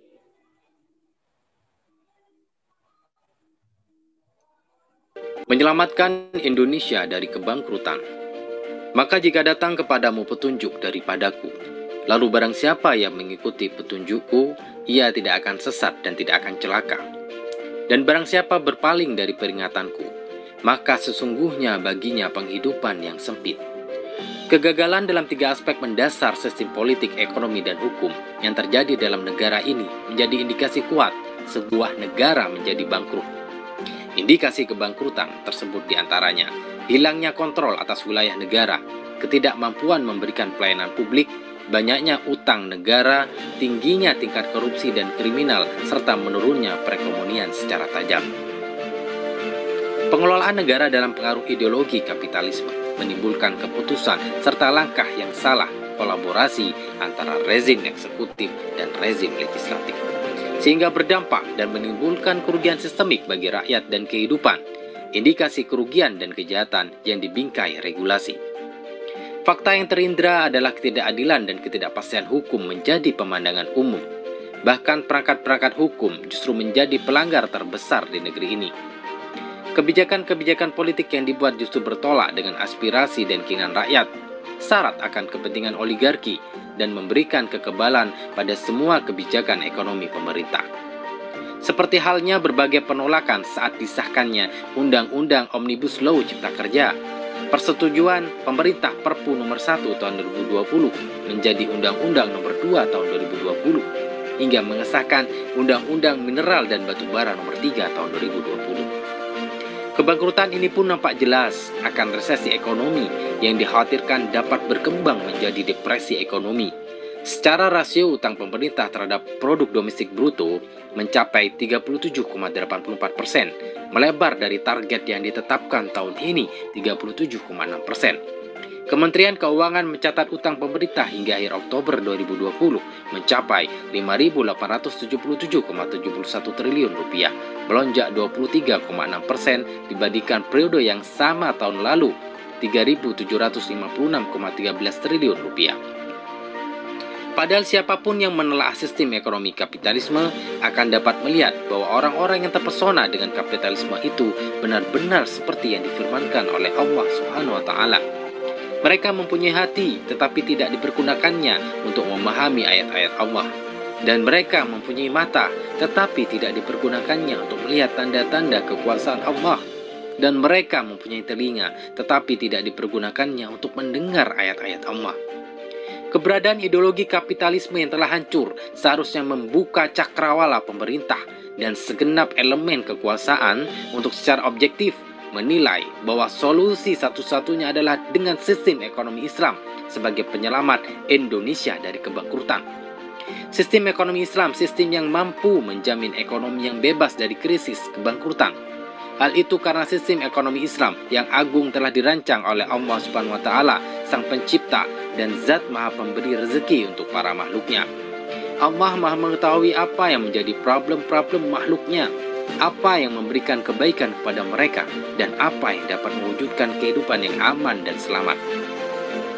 Politik ekonomi Islam adalah solusi bagi masalah mendasar tiap individu, masyarakat, maupun negara dengan tujuan yang ingin dicapai oleh hukum-hukum yang memberikan solusi berupa pengaturan berbagai urusan manusia.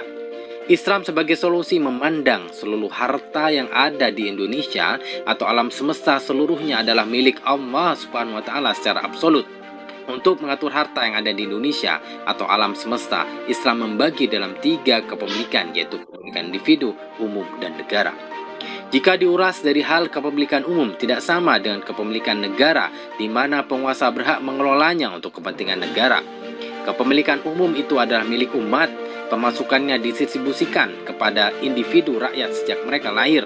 Begitu juga dibelanjakan untuk melindungi mereka dan menjadikan mereka sebagai kekuatan yang benar-benar diperhitungkan serta memuliakan sumber daya manusianya.